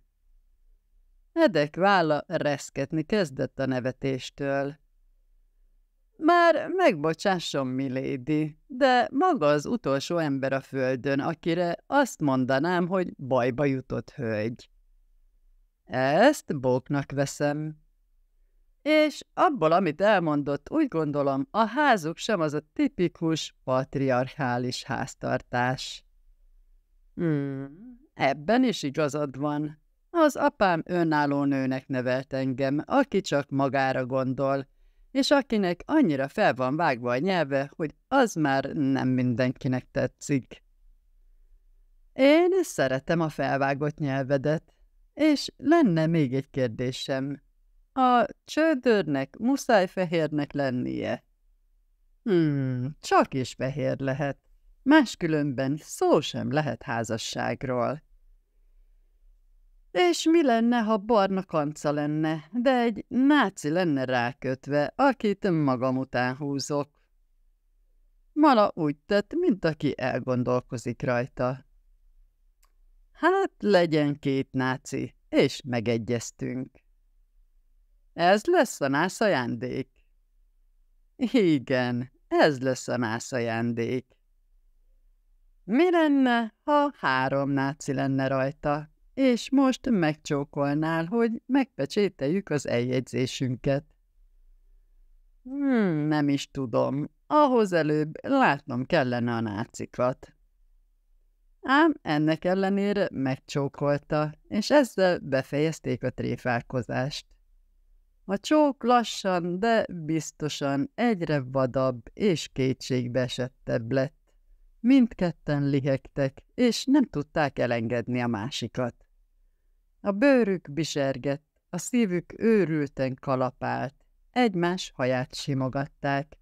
Az igazi őrület és az örök üdvösség vegyült össze ezen az emlékezetes éjszakán, és néhány mennyei órán keresztül nem volt hatalma fölöttük a haláltábornak. Január elején kérte meg Mala először, hogy maradjon nála éjszakára, Edek pedig február végére már sehol máshol nem akart felébredni, csak mala karjaiban. 22. fejezet Áthelyeznek. Edek még mindig maláról álmodozott. Érezte az ajkát az övén, karamell színű haját a kezében, és fel sem fogta az elgyötört tekintetű viszláv szavait. Mit mondtál? Döbbentem merett a barátjára. A reggel szürkén és ködösen virrat fel. Edek éppen időben tért vissza az appelra, és látta, hogy Viszláv üres tekintettel mered a semmiben, miközben a barak előtt álltak és várták, hogy elhangozzon a számuk.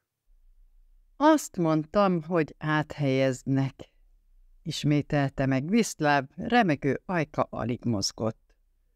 Az arca döbbent volt, mintha ő maga is alig tudná elhinni. Tegnap este már elmentél, amikor megjelent az SS, és vizsgálatot tartott. Edek zavartan ráncolta a homlokát. Az azonosítót és az aranyat együtt rejtették el Edek ágya alá a padlódeszka alá. Valahányszor oda tettek valamit, Edek saját kezüleg szögelte vissza a deszkát. Semmi esély nem volt arra, hogy felfedezzék, még egy alapos kutatás során sem.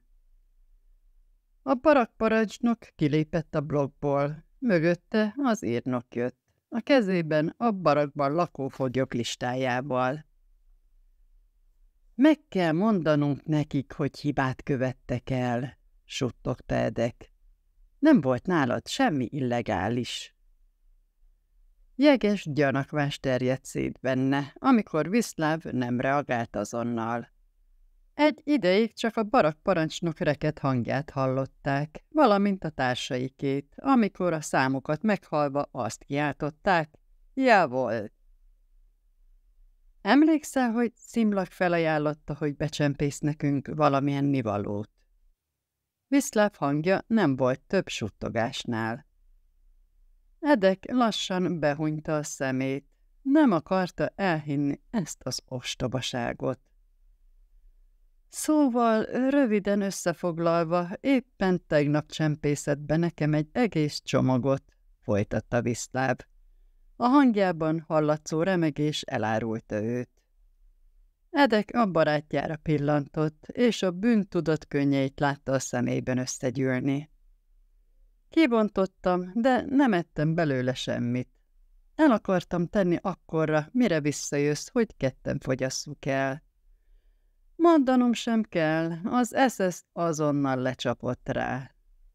Micsoda? Úgy eszel, mint egy király, miközben a katonáink éheznek a fronton, te lengyel disznó. Ráadásul ilyen az én szerencsém, a szalmazsákom alatt sejen fehér nemük voltak elrejtve. Gyászosan pillantott Edekre. Tudod, nem hiúságból vagy ilyesmi, hanem mert a tetvek a sejmen nem tudnak annyira megtelepedni, mint a pamuton. Edek persze tudta, csak képtelen volt megszólalni, mert biztosan mondott volna valamit dühében, amit már nem tudott volna visszavonni és azzal véget vetett volna a barátságuknak, amely átsegített őket a legszörnyűbb időszakokon is. Miért kért Viszláb ennivalót Szimlaktól? Edek mindig otthagyta neki a saját vacsoráját, amikor malához ment.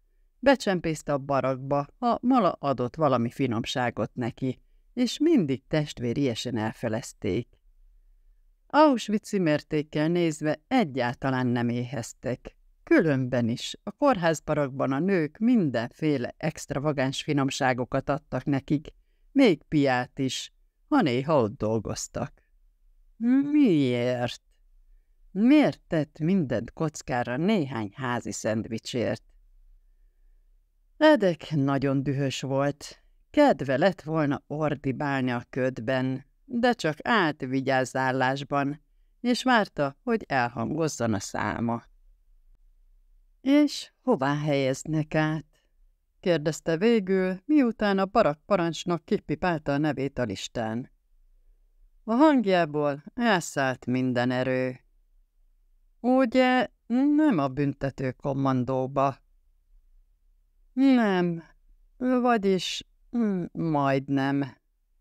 Viszlev szomorú, kísérteties hangon felnevetett. A nyolcas blokkba, ahol a szovjet hadifoglyok vannak. Hm, valóban majdnem, gondolta Edek komoran. A szovjetekről mindenki tudta a táborban, hogy nyíltan elutasítják a hatalmat, sőt, még Schweiz Hubert Lagerführer tiszteletét is kivívták. Ki tudja, milyen módon. Birkenau férfi táborának vezetője, Schwarzhuber a szelekciókért volt felelős. Nagy örömmel szabadította meg a birodalmat az ilyen nem emberi férgektől, ahogy ő nevezte a foglyokat. Mindenki döbbenten tapasztalta azonban, hogy a szovjet hadifoglyok már nem tartoznak bele ebbe a kategóriába. Schweizhuber szerint több alkalommal is látták, hogy kedélyesen beszélget velük egy tolmács segítségével csatamezőkről, amiken átvonultak, harctéri fegyverekről, stratégiai pontokról, ahol harcot vívtak. Szóval azokról a dolgokról, amikről csak álmodott, de nem volt lehetősége megvalósítani. És ami még rosszabb, kezdte Viszláv, de elharapta a nyelvét, amikor meglátta Edeki gyilkos arc kifejezését. Van még rosszabb is, sziszegte Edek. A barátja vádló hangja hallatán Viszláv teljesen lehajtotta a fejét. Blokkírnok leszek ott. Már nem dolgozom többé a szerelő kommandóban. Először nem is értettem, hogy milyen büntetés ez. Egy bűnös foglyot blokkírnoknak tesznek meg, de aztán rájöttem, hogy mit jelent. A szovjetek közismertek hirtelen haragjukról, Bárkit megölnek, akiket nem kedvelnek. Úgy vélem, az SS pontosan ezt a sorsot szánta nekem. Edek üres tekintettel nézett előre a felkelő napra, és arra gondolt, hogy ez a nap ennél rosszabb már nem is lehetne. Kifújta a levegőt. Nem fognak megölni, Legalábbis ahhoz először velem kell elbánniuk. Amikor Viszláv értetlenül bámult rá, Edek barátságosan behúzott egyet a bordái közé. Ne aggódj, majd megvesztegetek valakit, hogy engem is tegyen a nyolcas blokkba veled. Nem foglak magadra hagyni, ígérem. Aznap este Edek első dolga volt, hogy felkeresse ugyanazt a fogolytisztviselőt, aki a különböző barakkokba és munkacsoportokba osztotta be a rabokat, aki Viszlávot áthelyezte. Edek meglepetésére azonban az erős, sziléziai kiejtéssel beszélő, Jozekként bemutatkozó idős lengyel sajnálkozva tárta szét a karját, és elmondta, hogy semmi köze az áthelyezéshez, ő csupán parancsot teljesített. Egyébként pedig Edek barátja hálás lehet, hogy az SS nem az igazi büntető kommandóba tette őt, ahol néhány napnál nem bírta volna tovább. Engem is át tudsz helyezni a nyolcas blogba? kérdezte Edek, és előhúzott egy üveg alkoholt az overájából. Józek szelid, bocsánat kérő mosolya leállította. Tartsd meg az italt. Nem segíthetek neked az áthelyezésben. Itt, Birkenauban minden áthelyezést vagy Schweizhuber Lagerführer, vagy az alárendeltje jobb kápó rendez. Jobban vagy valamelyikükkel? A kérdés nyilvánvalóan költői volt. Bár akinek lehetősége volt elkerülni Schweizhubert, biztosan megtette. Ami pedig jobb kápót illette, brutalitásban felvette a versenyt a táborvezetővel. Régi bűnöző volt, aki csak Hetzből élvezettel bántalmazott bárkit, aki a legkisebb gyengeséget is mutatta, és azzal küzdötte fel magát a tábori hierarchia létráján, hogy brutálisan megverte, vagy megölte az alá beosztott foglyokat. Az SS nagyra becsülte az ilyen szolgát, hiszen erőfeszítés spórolt meg nekik azzal, hogy a saját kezével gyilkolta meg a foglyokat. Megmondom, hogy mit csinálj. József hangja kizökkentette edeket csüggett tűnődéséből. Menj, és látogasd meg ma este a barátodat. Blokkírnokként saját szobát kapott a barakban, és beszélj vele négy szem közt. Magyarázd el neki, hogy össze kell barátkoznia az oroszokkal. Nem lesz könnyű, mivel híresek arról, hogy nem hallgatnak semmilyen parancsra, ami tőlünk jön. De ha sikerül és a szövetségesük lesz, az egyik legjobb pozíciót szerzi meg magának az egész táborban. Hogy-hogy? Edek értetlenül ráncolta a homlokát. A saját élményeiből kiindulva eszébe jutott, milyen brutálisan bánt az SS a szovjet hadifoglyokkal. Amikor épp csak megérkeztek a táborba, az SS elszántan igyekezett pokollá tenni az életüket. Ha egy lengyelt megvertek valami nagyon enyhe vétségért, akkor egy oroszt agyonlőttek. A legrosszabb tábori munkákat a szovjetekkel végeztették. Ők voltak az elsők, akiket a 11-es blokkban gázzal kivégeztek. Őket állandóan kínozták, korbácsolták, éheztették, verték, és a legszörnyűbb orvosi kísérleteknek vetették alá. Néhány tábori veterán szerint csak a zsidókkal bántak rosszabbul, mint velük. Azok után, amit Edek Auschwitzban látott, nem értett egyet ezzel. Mhm, a dolgok megváltoztak, miután a németek veszítettek Stalingrádnál, magyarázta József tömören. Most már úgy gondolják, hogy jobb, ha vigyáznak a megmaradt oroszokra. Edek már éppen közbe akart szólni, amikor az öreg lengyel felemelte a kezét, és ugyanazzal a szelid mosolyjal belé folytotta a szót. Tudom, tudom, én is az egyik legelső transporttal érkeztem Auschwitzba. Nagyon jól emlékszem, hogy akkor mit csináltak azokkal a szerencsétlenekkel. Itt viszont Birkenauban kiváltságos foglyokként bánnak azokkal, akik túlélték.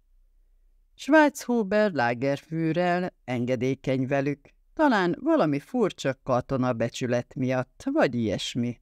De a tény attól még tény marad. A konyhai munkacsoportba nevezték ki őket, meg különböző raktárakba, ahol igazán előkelő pozíciót töltenek be. Néhányan úgy döntöttek, hogy a Mexikó kommandóban dolgoznak. Tudod, miről beszélek? Arról a szeméttelepről, amit a férfi tábor mellett építenek jelenleg. Miután Edek bólintott, Józek folytatta. A leghalványabb fogalmam sincs, hogy miért választottak ilyen kétes kommandót, mivel a Mexikóban nagyon nehéz a munka. Azt beszélik, hogy köze lehet a szétszerelt repülőképekből kinyert etilhez vagy metilhez, amit valahogyan megtisztítanak, és iható alkoholt csinálnak belőle. Személy szerint én nem hiszem, hogy ez lenne az elsődleges oka, de azt csak ők maguk tudják. Minden esetre mondd meg a barátodnak, hogy hagyja békén az oroszokat, foglalkozzon a saját dolgával, legalábbis eleinte. Nekik is megvan a saját hierarchiájuk, a vezetőik, igazságszolgáltatási rendszerük, és minden problémát maguk között intéznek el. Ha a barátodnak sikerül összebarátkoznia velük, és kivívja a vezető tiszteletét, akkor minden rendben lesz vele.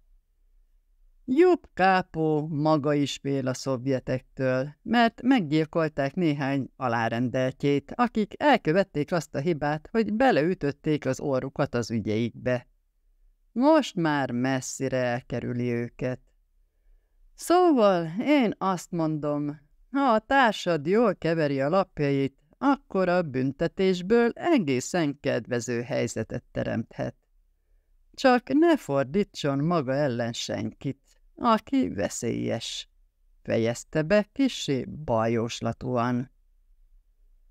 Edek bőszen hálálkodott a férfinak, azután futásnak eredt, és addig le sem lassított, amíg oda nem ért a nyolcas blokkhoz. Sajnos a sietség ellenére úgy tűnt elkésett. Az összetűzés már folyamatban volt. Edek rémülten nézte, hogy a legjobb barátját halálos öleléssel szorítja egy viszláb fölé tornyosuló, megtermett szovjet fickó. Az izmai kidüllettek a nyakán és a vállán. A blokk többi tagja bíztatta őt, a két ellenfél pedig a bejárat közelében küzdött, teljes erőből ütötte és rúgta egymást. Az arcuk véres volt és eltorzult, erősen ziháltak, miközben egymás körül köröztek, majd öngyilkos elszántsággal ugrottak egymás torkának. Edek úgy nézte őket, mintha valami őrült bűbáj hatása alatt lenne. Látta az őket körülvevő arcokat. A szemek mohón a két harcoló férfira szegeződtek. Hallotta, ahogy a saját furcsa nyelvükön bíztatják őket, és már előre félt a küzdelem végkimenetelétől. Bárki is nyeri a harcot, Viszláv biztosan veszít. Vagy az ellenfele öli meg egy jól irányzott ütéssel a halántékára, vagy mindannyian rávetik magukat, és itt helyben meggyilkolják az új zöldfülű blokkírnokot. Ekkor egy sápat és lihegő barakparancsnok szaladt ki a szobájából, és a két küzdő felé nyomult. Nem tudta szétválasztani őket, mivel az oroszok a nyakánál fogva hátra húzták, és követelték tőle, hogy hagyja békén őket, hadd intézzék el a dolgot maguk között.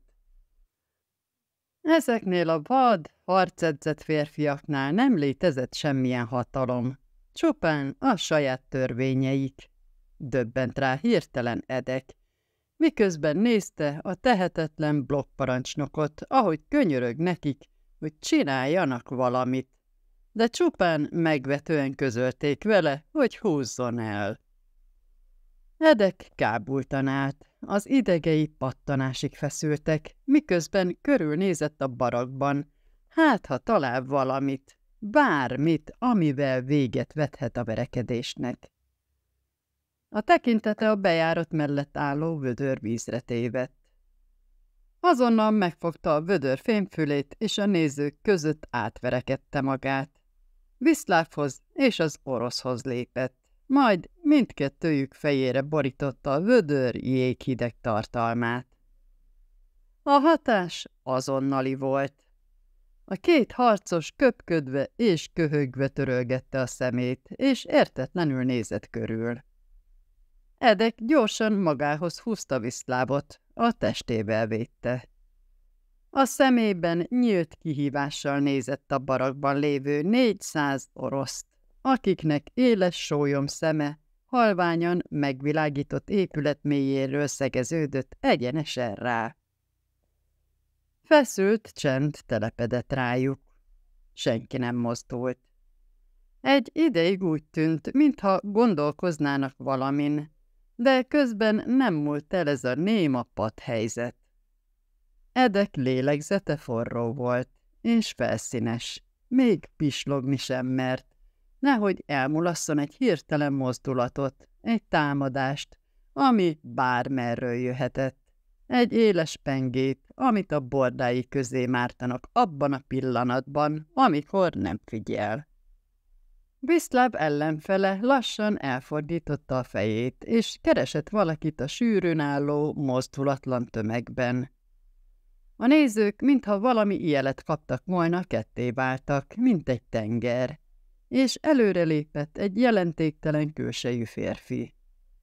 Nem volt sem magas, sem megtermett, mint a harcos, de olyan néma tekintély lengte körül, amit csak a nagyon nagyra becsült vezetők sugároznak magukból, akik kiérdemelték a tiszteletet.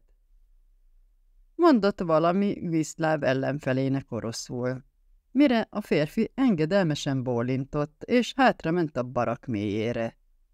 A többiek éjjeneztek, és hátba veregették. A furcsa orosz továbbra is ott állt Edek és Viszláv előtt. A szemüvege olyan különös módon verte vissza a fényt, hogy szinte nem is lehetett látni mögötte a szemét. Ez nagy ostobaság volt tőled. Ellenséget szerezni az első napodon, szólalt meg végül nagyon jó német tudással. De betudjuk a forró fejű ostobaságnak, amire néhányan mi is hajlamosak vagyunk, ha kineveznek egy pozícióra. Legyen az akár a legjelentéktelenebb hatalommal járó tisztség is. Viszont nagyon ajánlom, hogy fogd vissza a lelkesedésedet a nácik szolgájaként. Másodszorra nem fogok rájuk parancsolni, hogy vonuljanak vissza. Utolsó szavai még mindig vészjóslóan ott lebegtek a levegőben, amikor megfordult, hogy távozzon. A többi szovjet úgy követte, mint egy királyt a kísérete. Miután kettesben maradtak, Viszláv hagyta, hogy Edek a szobájába vezesse. Az egyetlen kiváltság, amely ezzel a nyomorult pozícióval járt. A helység kicsi volt és gyéren berendezett, mint malaszobája, de az ajtón volt zár, ha bár elég gyenge. Mégis valamiféle védelmet biztosított, és már ez is haladásnak számított. Mi történt? kérdezte Edek, miközben a barátja széthasadt ajkát tisztogatta, amely a szeme láttára kezdett feldagadni. Korábban, rögtön a létszám ellenőrzés után valami miatt takarodót jelentettek be néhány blokk számára. Viszláv szipogott egyet, majd a ruhájával letörölte az orrából még mindig csöpögő vért. A barakparancsnok kifejezett utasítással látott el, hogy senkit se engedjek ki. Azután visszavonult a szobájába, hogy rendbe tegyen valami papírt. Ekkor az a szemét kolja, azt hiszem az a neve. Nagy menő a konyhán. Úgy döntött, hogy a szabályok rá nem vonatkoznak, és elment mellettem. Én pedig próbáltam megállítani, de durván meglökött. Láttad, milyen nagy darab, és ment tovább a kiárat felé. Ekkor megragadtam a ruhája gallérját, mire megpördült, és behúzott egyet az arcomba. Én viszonoztam egy monoklival. A többit már valószínűleg te magad is láttad. Ez enyhe kifejezés volt. Edek megdörzsölte a szemét. Túl sok volt ez neki egy napra. Most viszont nem hagyhatja itt ezt a szerencsétlen fickót egyedül azokkal a vadállatokkal. Megeszik vacsorára, kidobják a testét, és azt jelentik gúnyos mosolyjal az arcukon, amit már ő is látott rajtuk, hogy az új blokkírnak szerencsétlen balesetet szenvedett, leesett az ágyról, és kitörte a nyakát. Milyen szomorú! pedig már éppen kezdték őszintén megkedvelni. Nem, ez nem történhet meg. Edek mindkét tenyerét Viszláv vállára tette, és egyenesen a szemébe nézett. Viszláv, oda kell menned hozzájuk, és bocsánatot kell kérni. A barátja néhány pillanatig nem találta a szavakat, döbbenten nézett Edekre. Nem hallottad, amit az előbb mondtam? Kiáltott fel végül, és az arca eltorzult a felháborodástól. De igen, mindent hallottam. Edek hangja nagyon komoly volt. És ha az ellenfeled egy lengyel lett volna, én magam húznék be neki egyet az orrába. De ezek oroszok. Igazi katonák akik a nácikkal harcoltak, mi alatt mi a saját barakkunkat építettük itt Auschwitzban. Ők harcosok és túlélők. Muszáj is, hogy azok legyenek, ha túléltek ennyi év pusztítást, aminek az eszesztette ki őket. Ezek itt mind közül a legkeményebbek. Nem engedhetjük meg, hogy az ellenségük legyünk. Sokkal okosabb lenne szövetséget kötnünk velük. Ezért kell fognod ezt az üveget. Edek előhúzta ugyanazt az üvegitalt, amivel Józsefet akarta lekenyerezni. És te, békeajánlatként, odaadod Koljának. Bocsánatot kérsz, és megígéred, hogy ez az egész soha többé nem fog megismétlődni. Volt a hangjában valami, ami sokkal nagyobb hatást tett Viszlávra, mint maguk a szavak. Lassan bólintott, és elvette Edektől az üveget. Velem jössz? Ha esetleg... Persze. Edek a vállára ütött, és felállt az ágyról. Kérned sem kell. Együtt kiléptek Viszláv szobájából, és a mereven figyelő tekintetek által kísérve oda sétáltak Kolja pricséhez. Az orosz arcát már nem torzította el az ellenséges érzés, levette a hideg borogatást feldagadt szeméről, és kíváncsian nézte a két férfit. Viszláv szó nélkül átnyújtotta neki az üveget. A kezén látszott, hogy egy kicsit remeg. Az orosz mindkettőjüket meglepte azzal, hogy halsányan felnevetett, majd megütögette maga mellett a pricset, hogy helye kínálja vendégeit. Te, ostoba! Én, ostoba! magyarázta barátságosan, törve a lengyelt. Majd felbontotta az üveget, és először Viszlávnak nyújtotta. Edeke megértette, hogy ezzel megpecsételi a barátságukat. A nácik rosszak, te bajtás. Én harcolni nácikkal, nem bajtásakkal.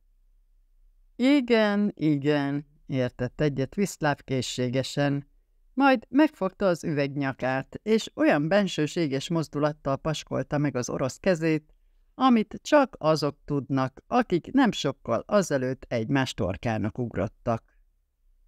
Barátok közt nincs több harc. 23. fejezet Áthelyezték. Mala nem is próbálta titkolni, mennyire megijedt Edek hírétől. Nem vasárnap volt a megszokott randinapjuk. Edek egyszerűen csak odament az új épülő rámpához az éjszaka leple alatt, ahogy egyszer már korábban is megtette. Csupán a feje fölötti lámpák halvány sárga fénye világította meg az egyre hosszabban elterülő simpárt. Azt a visszataszító, feketesebb helyet a makulátlanul fehér, frissen hullott hóban a női és a férfi tábor között. Éppen időben érte el Malát. A nő már kézbesítette a parancsot a kápónak, és elindult visszafelé, hogy a két másik küldöncel együtt elvégezze a többi feladatát is az éjszakai műszakban. És mit fogsz tenni? Kérdezte a lány, és aggodalmasan kutatta Edek arcát. Egy blokkírnokot nem csempészhetsz ki a táborból. Viszlábnak igazi kommandóban kell dolgoznia ahhoz, hogy kivihesd. Még van idő nyárig, felelte Edek olyan könnyedséggel, amit valójában nem érzett. Bőven elég az idő ahhoz, hogy a tábori vezetés rájöjjön, milyen csapnivaló írnok, és visszategye egy rendes munkacsoportba. Mala halványan rámosolygott, majd biztatóan megszorította a kezét. A szemem káprázik, vagy a sínek egyre közelednek. A... Edek hirtelen elhallgatott, mert gondolatban folytatta a simpár bajós irányát. A krematórium kéményei előttük magasodtak, megtévesztően csendesek voltak az idéglenes lámpák fényében. Néhány héttel ezelőtt az idevezető út jó 40 percet vett igénybe, ez mostanra már lerövidült, alig tizenötre. A táborban hátborzongatóan vízhangzott a sineket a fagyos földbe kalapáló súlyos eszközök kopácsolása, mintha valami kísérteties óra számolna vissza egy nyomasztó és elkerülhetetlen eseményig. A munkások dupla műszakban, halálos hatékonysággal építették az új rámpát. Nem, nem káprázik a szemed. Az új rámpát éppen itt fogják építeni. Mutatott Mala egy még üres földterületre a férfi és a női tábor között. Elhallgatott egy kis időre, aztán olyan hangon folytatta, amitől borzongás futott végig Edek hátán. Láttam a terveket a tábori irodában. Én viszem a parancsokat. Edek érezte, hogy zúgni kezd a füle. A némaság hirtelen átalakult a rémület éles kiáltásává. Valamit előkészítenek. Egy új megsemmisítési eljárás dolgoznak ki a sötétség leple alatt. A koponya alakú hold a közömbös égről vigyorgott le rá csontos állkapcsával. Biztosra vette, ha Mala nem fogná kezét, összeesett volna, mert hirtelen rádöbbent valami borzalmasra.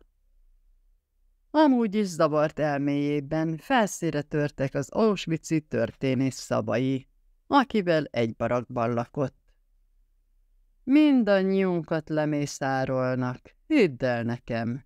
Senki sem akarja, hogy kisétáljunk innen, és elmeséljük a történetünket. Ez nem nekünk lesz, jegyezte meg Mala, mintha megérezte volna a férfi szörnyű rémületét, és biztatóan a kezére tette a tenyerét. Legalábbis egyelőre. Minek kellene nekünk rámpa? A rámpa az újonnan érkezőknek van, mi már itt vagyunk. Ez a magyar zsidóknak készül. A magyarok úgy gondolták, hogy jó ötlet átállni a másik oldalra a háborúban, de sajnos elszámították magukat. Most pedig Hitler a kedvenc módszerével ábosszut rajtuk. Kiírtja a teljes magyar zsidó lakosságot. Ami minket illet, a náciknak még szükségük van ránk. Ki más segítene nekik ebben a tömeggyilkosságban, ha nem mi? A sötétben Mala szomorú mosolya volt az egyetlen fényforrás, ami reményt adott Edeknek. Hirtelen arra gondolt, hogy nem tudja elviselni, ha el kell válnia tőle. Még nem. Hogy fogok elbúcsúzni tőle, ha eljön az idő? Egy újabb gondolat kúszott be az agya egyik sarkába, némán feltekeredett, mint egy kígyó ha a legsebezhetőbb pillanatban akar majd lecsapni. Edek egyelőre ott hagyta, és nem foglalkozott vele. Alig várta, hogy eljöjjön a vasárnap. Már számolta a napokat, átszenvedte az álmatlan éjszakákat, Ám amikor végre elérkezett a hét utolsó napja, hirtelen rájött, hogy nem ő az egyetlen vendég Mala szobájában aznap este. Ne haragudj, hogy nem figyelmeztettelek előre, szabadkozott Mala, és futólag szájon csókolta. De nem volt rá idő, ez egy nagyon sürgős megbeszélés. Mela apró szobája még kisebbnek tűnt az itt lévő emberek miatt, ráadásul vágni lehetett az elmosódott szürke csíkban felfelé kígyózó füstöt. Edek felismerte Zippit, aki jelenleg Mala ágyán ült. Kezet fogott több emberrel is, akikkel még sohasem találkozott. Az arcuk komor volt, a hangjuk halk. Első látásra egyértelműnek tűnt, hogy mindannyian a tábori elithez tartoznak. A földön törökülésben ülő férfi nyilvánvalóan a Sonderkommandóban dolgozott, mert jól szabott ruhájából az éget hús bűze áradt. Habár ezt leszámítva a megjelenése ápolt volt és rendezett. Ő Kostek, a nagy darab férfi habozott, mielőtt készfogásra nyújtotta volna a kezét Edeknek. Nem azért, mert elvei ellen szólt, hogy egy karban tartó munkással fogjon kezet, hanem azért, mert a foglyok közül nagyon sokan undorodtak attól, hogy megérintsék a gázkamrákban dolgozó emberek tenyerét. Edek viszont határozottan megfogta, és bemutatkozott. Zippi mellett Mala ágyán ült a tábori kórház orvosnője. Szürkés-fehér köpenyének ujján friss vérfoltok látszottak. Mala azt mondta, a neve Stázia. Edek elvigyorodott. A fogoly orvosnő is lengyel volt. A radiátornál két férfi ült, akik jellegzetes egyenruhájukból ítélve az ács munkacsoportba tartoztak. Az egyikük ismerősnek tűnt, de Edek csak akkor ismerte fel Pavolt, amikor közelebbről is megnézte. Ez a szlovák férfi hozta össze annak idején Malával. Mala az egyetlen széken ült, mint a kis összejövetel elnöke. Mutatta, hogy Edek is üljön az ágyra, de ő inkább az ajtó mellett maradt állva. Nem akarta, hogy a nők kényelmetlenül érezzék magukat mellette a túl keskeny fekhelyen. A másik ács eleinte gyanakvóan nézett Edekre. Mala azonban egy kézlegyintéssel eloszlatta az aggodalmát. Ő is közülünk való, megbízhattok benne. A jelenlévők számára elég volt a szava, az arcukon a feszültség azonnal felengedett. Valami készülődik a családi táborban, tájékoztatta Mala Edeket mindenféle különösebb bevezető nélkül. A csehszlovák zsidóknál pislogott Edek.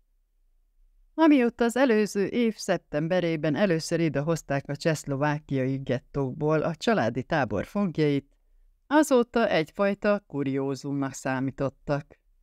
A többi újonnan érkezettel ellentétben őket nem a zaunába vitték nyilvántartásba, ütlegeléssel, kiabálással és durva beszéddel kísérve.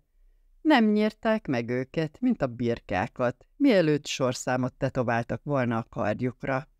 Beterelték volna őket a szauna fertőtlenítőjébe, aztán ki a szabadba, anya szült mesztelenül, hogy rémülten bacogjanak a hidegben. Éppen ellenkezőleg. Szinte kedélyes udvariassággal kísérték be őket az új barakjukba, a hirtelen kedvesen viselkedő eszeszőrök.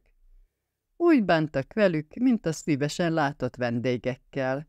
Megengedték nekik, hogy megtartsák a saját ruhájukat, sőt, még a bőröngyeiket is. Erre sem azelőtt, sem azóta nem volt példa Auschwitz-Birkenauban. Azóta is ugyanúgy éltek ott, ahogyan megérkeztek. Együtt maradtak a családok, míg a tábor többi lakóját elszakították a szeretteiktől. És csak a szöges drótkerítés túlsó oldaláról nézhették őket, és a fejüket vakarva, értetlenül álltak ilyen szokatlan kivételezés láttán. A helyi ellenállás csak később tudta meg, hogy mindez csak színjáték. Az SS csupán azért bánt ilyen kedvesen a kirakatban lévő zsidókkal, mert őket mutogatták a nemzetközi sajtónak, bebizonyítva, hogy milyen rendesen gondoskodnak ők a zsidókról. Megadnak nekik mindent, amire szükségük van. A legszomorúbb része az volt, hogy a Vörös Kereszt, mikor a képviselői néha ellátogattak a német táborokba, és vizsgálatot tartottak, Csont nélkül elhitte a nácik hazugságait. Nem sejtett semmit. És minden látogatás végén megígérte, hogy humanitárius segítséget nyújtanak a zsidóknak. A táborvezetés lelkesen beleegyezett, és örömmel dörzsölte a tenyerét a vörös keresztes felügyelők háta mögött, mert elképzelték, milyen lakomát fognak csapni a Svájcból kapott élelmiszerekből. Én már kezdettől fogva mondogatom, hogy valami nincs rendben azzal a táborral. Zippi törte meg először a csendet. Túl szép volt, hogy igaz legyen. Azok az angyal arcú gyerekek a játékaikkal. A nők harisnyában, és magas sarkú cipőben. Az a sok egykori háborús veterán, a mellükön a sok kitüntetéssel úgy járkálnak, mintha díszszemlén lennének, nem pedig Auschwitzban. Nem, fejezte be egy kategórikus fejrázással. Nem is lepődtem meg, amikor a helyi ellenállás megerősítette a gyanumat, hogy ez az egész csak kirakat a svájciak számára. Az SS pedig képes lapokat iratott velünk a családjuknak, és egy hónappal későbbre dátumozta mindet. Mala a szemközti falat nézte, miközben beszélt. A szemöldökök között mély barázdák jelentek meg. Zippi és én válogattuk szét őket a tábor irodában. Amikor megkérdeztem Mánt, hogy nem tévedése ez a sok helytelen dátum, akkor elkezdett ködösíteni, és azt állította, hogy a berlini cenzúrairoda késlekedésével függ össze a dolog. Baromság, vágta rá azonnal Kosztek. Edek halkan felhorkant ezen az őszinte nyers reakción. Kezdte egyre jobban megkedvelni a szonderkommandóst. Megsemmisítő akciót terveznek, folytatta Kostek. Ezt én mondom nektek. Nagyon sok hasonlót láttam már. Cenzúra iroda, egy frászt, mondta gúnyosan, és undorodva a fejét rázta. Zippi és én is ugyan ezt gondoltuk, nézett Malakosztekre. Ezért hívtam össze ezt a megbeszélést. Meg kell mondanunk nekik. Hm. Tegyük fel, hogy megmondjuk, szólalt meg Pavol, és egy cigarettát csavart magának, miután egy üres szardiniás dobozba elnyomta azt, amit éppen szívott. És azután mi lesz? Én már nagyon sokszor voltam ott. A legelviselhetetlenebb karótnyelt banda, amit valaha láttam. Úgy gondolják, hogy az auschwitz szabályok rájuk nem vonatkoznak. És csak nagyon kevesen gyanítják, hogy valami készülődik. A többség inkább boldogan nem vesz tudomást a dologról, és továbbra is az SS jó indulatában bízik, magyarázta a szemét forgatva. De vannak közöttük ellenállási tagok is, erősködött Mala. Igen, harminchárom, az ötezerből, jegyezte meg Stázia, akit nyilvánvalóan nem nyűgözött le ez a szám. És hogy akartok lázadást szítani 33 emberrel? Hmm, lehetnének ők a vezetők, folytatta Mala kitartóan, de az orvosnő csak legyintett. Ha az emberek nem hiszik el, hogy meg fogják ölni őket, akkor nincs az a vezető, aki rávehetné őket, hogy fellázadjanak. Kosztek hangja váratlanul szomorú lett. 1942-ben, amikor a Kanada mellett még nem épültek meg azok a borzalmas monstrumok, teherautóval frissen elgázosított holttesteket szállítottam át a régi krematóriumba, Auschwitzba. Az út, ahol el kellett mennünk, a rámpa mellett vezetett, ezért nagyon lassan kellett haladnunk, hogy a testek ne essenek le. Mivel a teherautó alaposan meg volt pakolva, az út pedig nagyon göröngyös volt. Na szóval, miközben lassan vánszorogtunk előre, a következő jelenetnek voltam szemtanúja. Egy jól öltözött nő nem a gettóból jött, hanem valami jómódú zsidó családból. Bárhonnan szedték is össze, oda ment a rámpán az egyik eszeszőrhöz, és maga után húzta a kisfiát. Szóval oda ment hozzá, rámutatott az egyik kanadás férfira, aki a csomagokat intézte. A szegény ördög bizonyára megpróbálta figyelmeztetni a nőt, hogy el kell engednie a gyerekét, ha élni akar.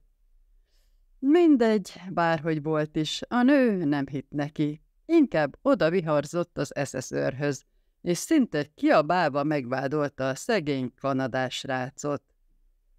Herr Officer, az a szörnyű bűnöző az előbb azt mondta nekem, hogyha nem engedem el a gyermekemet, mindkettőnket megölnek. A tiszt szinte bocsánat kérően nézett rá.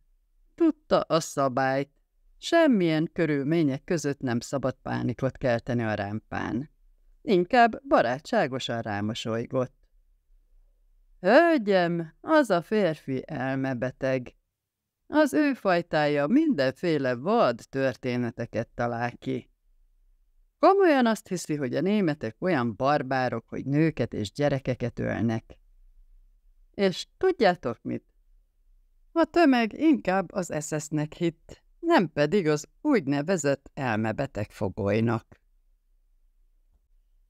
Kostek megütögette a zsebét, cigarettát keresve, majd szórakozottan rágyújtott. Amikor a nő diadalmas kifejezéssel az arcán a kanadás férfi felé fordult, az már nem volt ott. Ő nem látta onnan, ahol állt, de én igen. Két őr már lelőtte a halomba rakott bőröndök mögött, hogy többé ne jártassa a száját. Integettek nekem, hogy álljak meg, és várjak egy kicsit, mert vihetek még egy hullát, miután mindenki elment a rámpáról. Edek Mala reakcióját figyelte, miközben Kostek elmesélte ezt a történetet, és látta, hogy a szemében egyáltalán nem látszik meglepődés, csak sötét melankólia, mintha már mindent látott volna. Rá fognak jönni, hogy igazunk van, mondta a másik ács. Csak hogy akkor már túl késő lesz. Mégis én azt mondom, kötelességünk megpróbálni. Mala nem volt hajlandó feladni. Kosztekhez fordult. Van elég ellátmányotok egy lázadáshoz, ha mégis úgy döntenek, hogy megcsináljuk. Kostek szívott egy nagyot a cigarettájából, és gondolatban számolgatni kezdett. Van néhány házi készítési bombánk, és egy pár fegyverünk. A terv az, hogy lefegyverezünk legalább néhány gépfegyveres eszeszört, azután indulhat a buli, hölgyeim és uraim. Pavol ácstársa, akinek piros háromszög volt a melkasára varva, a földön ülve hevesen rázta a fejét. Csak megölettek mindannyiunkat. A terv az volt, hogy akkor kezdjük a lázadást, amikor a szovjetek már közel vannak, hogy hozzájuk tudjunk menekülni, miután kitörtünk a táborból. Mi a terved? Hová fogunk elmenekülni? Vissza a nácik karjába. Várnunk kell. Ti, komcsik, sosem voltatok képesek magatoktól semmire. Kostek undorító arccal rázta a fejét. Mi, komcsik, jobban szeretünk gondolkodni, mielőtt cselekszünk. Az ács vicsorogva kivillantotta a fogát. Ha mi, komcsik, nem lennénk, folytatta gúnyolódva az ács. Titeket füstölnének el a kéményben, ahelyett, hogy ti raknátok meg a tüzet. Elfelejtetted, ki szerezte neked ezt a prima helyet. A nyomorult piros háromszögesek. Elég, kiáltotta Mala sürgetően, hogy véget vessen a vitának. Együtt kell működnünk, nem pedig egymásnak esnünk. Tudom, hogy a családi tábor többsége nem hisz nekünk. De mi van, ha igazi bizonyítékot mutatunk nekik? Talán akkor hajlandóak lesznek cselekedni. És miféle bizonyítékot? Egy aláírt papírt a táborirodából, kuncogott Zippi komoran. Nem sok az esélye, hogy Mándl megengedi, hogy hazavigyük. Nem. Mala Kosztekhez fordult. Azt mondtad, hogy az SS feletteséd mindig elmondják neked, pontosan hány emberre kell előkészítened a kemencéket, hogy ne pazaroljátok a... Hogy is hívjátok azt a speciális szenet, amit ott használtok?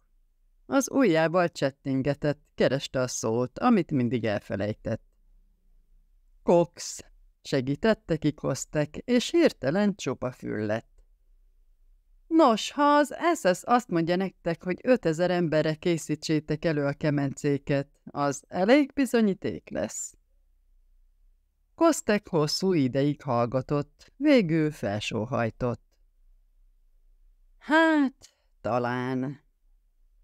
A hanyag várandítása nem csapott be senkit. Egy cseppnyi bizodalma sem volt ebben a tervben. Miután mindannyian elmentek egymás után, Edek legugolt Mala lába elé, és a kezébe fogta a kezét.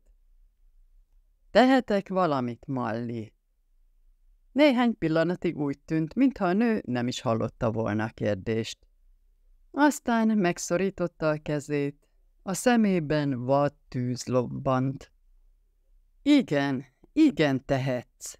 Szabadulj ki innen, és vigyél el minél több bizonyítékot, amit csak tudsz.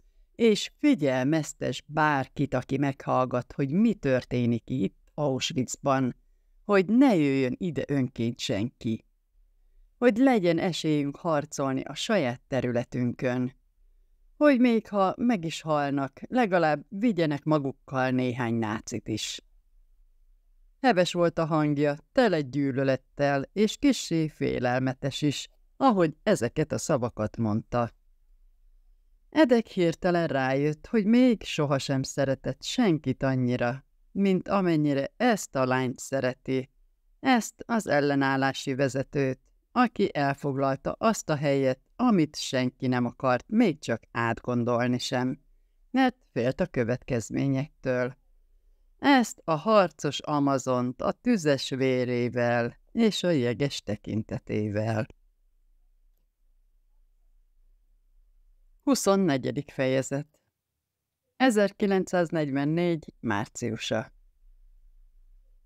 A tábort fehérbe borító utolsó hóvihar után beköszöntött a tavasz. Lemosta a sáros utakat, a barakkok tetejéről csöpögött a víz és halványan a nedves passzagát árasztották. Mire odaért egykori munkacsoportjához, a szíve olyan erősen vert a melkasában, hogy felvehette volna a versenyt Vasek Kápó mesteri ütéseivel is. Lubus egykori kommandófűrere volt az egyetlen reménye. Mi van, ha az a remény úgy döntött, hogy a saját bőre fontosabb, mint az ő szabadsága? Mi van, ha kineveti Edek naivitását, és úgy tesz, mintha beszélgetésük meg sem történt volna? Mi van akkor, ha eltávozásra ment a feleségéhez, most pedig a visszatérése után nem akarja, hogy a nő megözvegyüljön?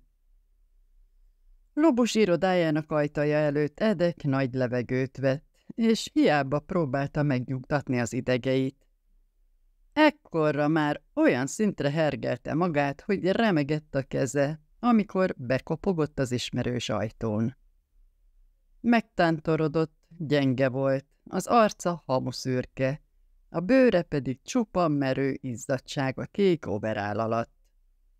Alig észrevehetően megrándult az arca, amikor meghallotta az ismerős, szelit hangot, hogy bemehet. Túl hamar, még nem volt ideje összeszedni magát. A keze azonban magától kinyitotta az ajtót, a lába pedig bevitte az irodába. Edeknek ködös testen kívüli élmény volt, ahogy összecsapta a bokáját, és gyakorlott mozdulattal lekapta a fejéről a csíkos sakkáját. A tábor kegyetlen tanár volt, Megtanította nekik, hogy bármilyen SS katona parancsának engedelmeskedjenek. Még félholtan is, vagy a félelemtől reszketve, azt tették, amit parancsoltak nekik. Galinski! Lubus felállt a székről, és láthatóan örült, hogy látja egykori munkását. Hát még mindig élsz, te vénróka! Az SS és a kápók egy ilyen költői kérdést általában azzal a megjegyzéssel folytattak, hogy ezen könnyen segíthetünk. Azután nekiálltak megdolgozni a szokatlanul szívós foglyot a korbácsaikkal és a botjaikkal. Lobos hangjából azonban őszinte öröm hallatszott. Edek ajka remegett, számtalan különböző érzés munkált benne. Jawohl, Herr Unterscharführer! Valószínűleg olyan vad elkeseredéssel nézett a férfire, hogy Lubus megkönyörült rajta, és úgy döntött, nem kínozza tovább a szokásos, üres udvariaskodással. Megvan, mondta ki az egyszerű szót, amitől Edek úgy érezte magát, mintha szárnya nőtt volna.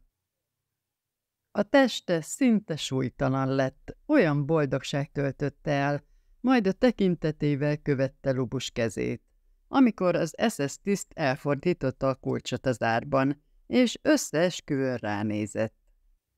Edek arca kis híján ketté szakadt, úgy vigyorgott, amikor a névrokona átment az irodán, és intett neki, hogy kövesse.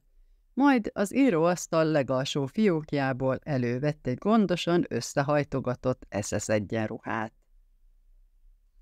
Ez csak az egyenruha, meg az öv. Fegyver és fegyvertáska még nincs hozzá. Azokat majd külön szerzem meg, és ne aggódj. A ruhát alaposan fertőtlenítették. Edek értette a viccet. Általában az SS félt attól, hogy elkapja a tetveket a foglyoktól, nem pedig fordítva. De nem lubus tréfája volt az oka határtalan jókedvének, amit minden erejével próbált elfolytani. Az ujja hegyével megérintette a durva anyagot, és megsimogatta a szélét. A részgombokat még nem merte megfogni, pedig csábítóan csillogtak a lámpafényben. Még nem. Ha megtenné, azzal egy ködös álom nagyon is valóságos tervé változna, és Edek még rettegett, ugyanakkor izgatott lett a lehetőségtől, hogy ilyen csoda megtörténhet.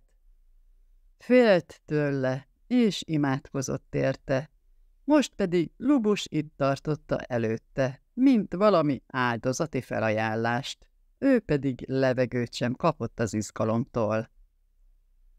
Nos, bökte meg az SS tiszt, hogy megmozduljon. Az a terved, hogy csak bámulod, vagy fel is próbálod. Edek először nem is hallotta, annyira belemerült a hőn áhított ruha látványába. Felpróbálni? Nagyot pislogott, amikor az SS katona szabai végül áthatoltak a gondolatai ködén. Itt? Természetesen. Vagy az Appelplacon akarsz felvonulni benne? Nevetett fel Lubus. Vedd fel, az ajtó zárva. Senki sem fogja látni rajtam kívül. Nekem viszont látnom kell, hogyan viselkedsz benne. Tudod, gondolkoztam. Végül komolyra fordította a szót, félretette a tréfát. Edek ekkor rájött, hogy ő is ideges és bizalmasan nézett rá. Azonnal lelepleznek, ha valami ostobaságot művelsz, miközben ezt viseled. Ezért látnom kell, hogy pontosan mit tervezel csinálni benne. Oldalra lépett és intett Edeknek, hogy öltözzön át. Amikor Edek elvette tőle az egyenruhát, egyszerre töltött el undor és áhítat és megint elátkozta a tábori ösztönt, ami miatt habozás és gondolkodás nélkül engedelmeskedett a parancsnak. Már a zubbony gombolta be, amikor megpillantotta magát a szemben lévő falon lógó tükörben. Azonnal megbénította a döbbenet. Egy perccel azelőtt még fogoly volt. Most pedig már a világ arrogáns és hatalommal bíró ura nézett vissza, a koponyával és a keresztbe tett csontokkal díszített sapka. Miután kigyönyörködted magad, Lubus hangja ismét magához térítette. Sétálj ide hozzám, és jelentkezz, ahogy egy tisztenné. Megállt a szemközti falnál. Tegyünk úgy, mintha én lennék a kapunál álló őr. sétálj ide hozzám, tiszteleg és jelents, vagy tedd, amit terveztél. Edek ilyen előre még nem gondolkozott, de híres volt arról, hogy gyorsan feltalálja magát. Határozottan lehúzta magán az ubbonyt, hogy az öv alatti redők még jobban látszanak. Kihúzta magát, és elindult Lubus felé. Nem sietve, de céltudatosan. Lubus elismerően bólintott a hangos sarokkopogás hallatán, és a képzeletbeli fegyverét Edek hasára szegezte. Sajnálattal közlöm, de ebben a pillanatban meghaltál. Edek csak bámult rá értetlenül. De miért? Tisztelettem, ahogy kérte. Lobos kifújta a levegőt, és úgy nézett rá, mint egy kedves tanár, aki egy bukott diákot figyel. És pontosan ezért haltál meg.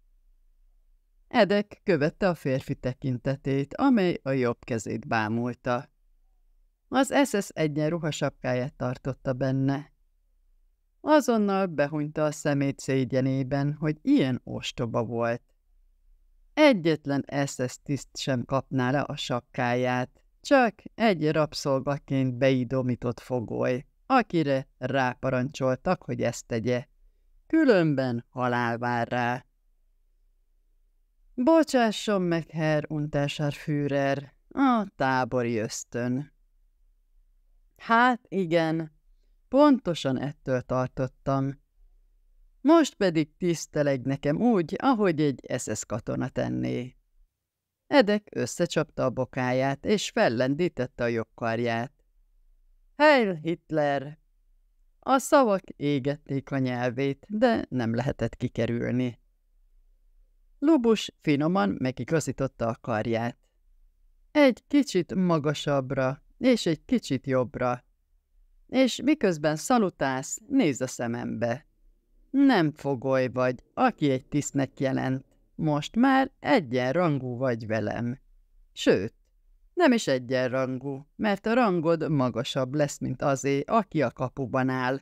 Szóval próbálja lehető legönteltebben viselkedni.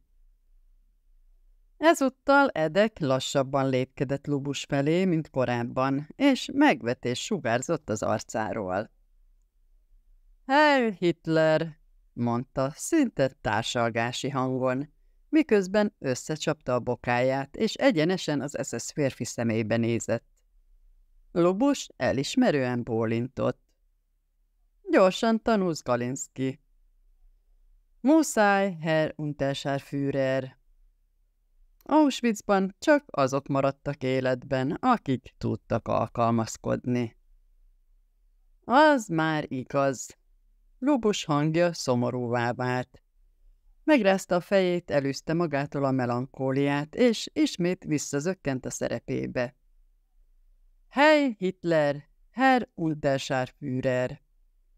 Elhallgatott, és várakozóan nézett Edekre. Engedje meg, hogy jelentsem. Nem, állította le Lubus azonnal. Jelentesz, de semmiképpen sem kérsz engedélyt arra, hogy megtehesd. Ő csak egy alacsony rangú őr, az alárendelted. Nyissa ki azt a nyomorult kaput, vetette Edek a lapot Lubus tanácsa után. Már így is késésben vagyok, ennek a szarházinak az idióta barak parancsnoka. Ekkor maga mellé mutatott, ahol viszláp fog állni. Baromi lassan számolta azokat a nyomorult disznókat ma reggel. Lubus elvigyorodott. Edek tényleg nagyon meggyőző volt. Elnézését kérem, Herr Unterstárführer, de látnom kell a kísérői papírját. Tudja, a szabályok. Tehetetlenül széttárta a karját, és bocsánat kérően mosolygott. Edek feltűnően forgatta a szemét, és túljátszott mozdulattal elővett egy láthatatlan papírlapot a mellén zsebéből. Az azonosítót, amit Mala szerzett neki. Most boldog? kérdezte Lubustól savanyú tekintettel. Mehetek már, vagy tovább kekeckedik? Az utolsó megjegyzésére Lubus elismerően vállon veregette. Az SS katona valósággal ragyogott. Így már jó lesz, ismételgette, és láthatóan megkönnyebbült. Ez így remek lesz. Edek ránézett az előtt álló fiatal férfi arcára, és arra gondolt, hogy milyen szörnyű, hogy a háború rájuk kényszeríti ezt a megosztottságot, ezt a fai gyűlöletet, ami ellentétes oldalra állítja őket. Más körülmények között talán barátok is lehettek volna. Herr Unterscharführer kezdte kimondani azt, amit eddig a pillanatig még gondolatban sem mert megfogalmazni. Úgy gondolom, bölcsebb lenne eltávozásra mennie, amikor mi... Lubus azonban már a fejét rázta. Ha kiderül az igazság, a gestápó így is úgy is elkap. Nem számít, hogy a táboron belül vagy kívül vagyok. Híresek arról, hogy a föld alól is előkerítik az embert, ha szükséges. Az ellenséggé vált németeket pedig még inkább. Szóval semmi baj, Edek. Edek felkapta a fejét. Lubus erősebben szorította a bicepszét. Furcsa, barátságos, ne aggódj semmi miatt típusú gesztussal. Már mindent eldöntöttem magamban. Soha sem voltam gyilkos, de bőrészes vagyok a gyilkosságban. Ha ez az egyetlen helyes dolog, amit az életemben teszek, még akkor is, ha a sajátommal kell fizetnem érte, részemről rendben van. Ez így tisztességes. Én akkor is jobban örülnék neki, ha nem halna meg Herr Unterscharführer, felelte Edek, és rájött, hogy valóban így gondolja. Én pedig jobban örülnék neki, ha élve jutnák innen Galinszki. Tégy meg nekem egy szívességet, és legyen így, jó? Amikor kezet fogtak, már nem ellenségek voltak, hanem két a nehéz csata előtt szétváló bajtás.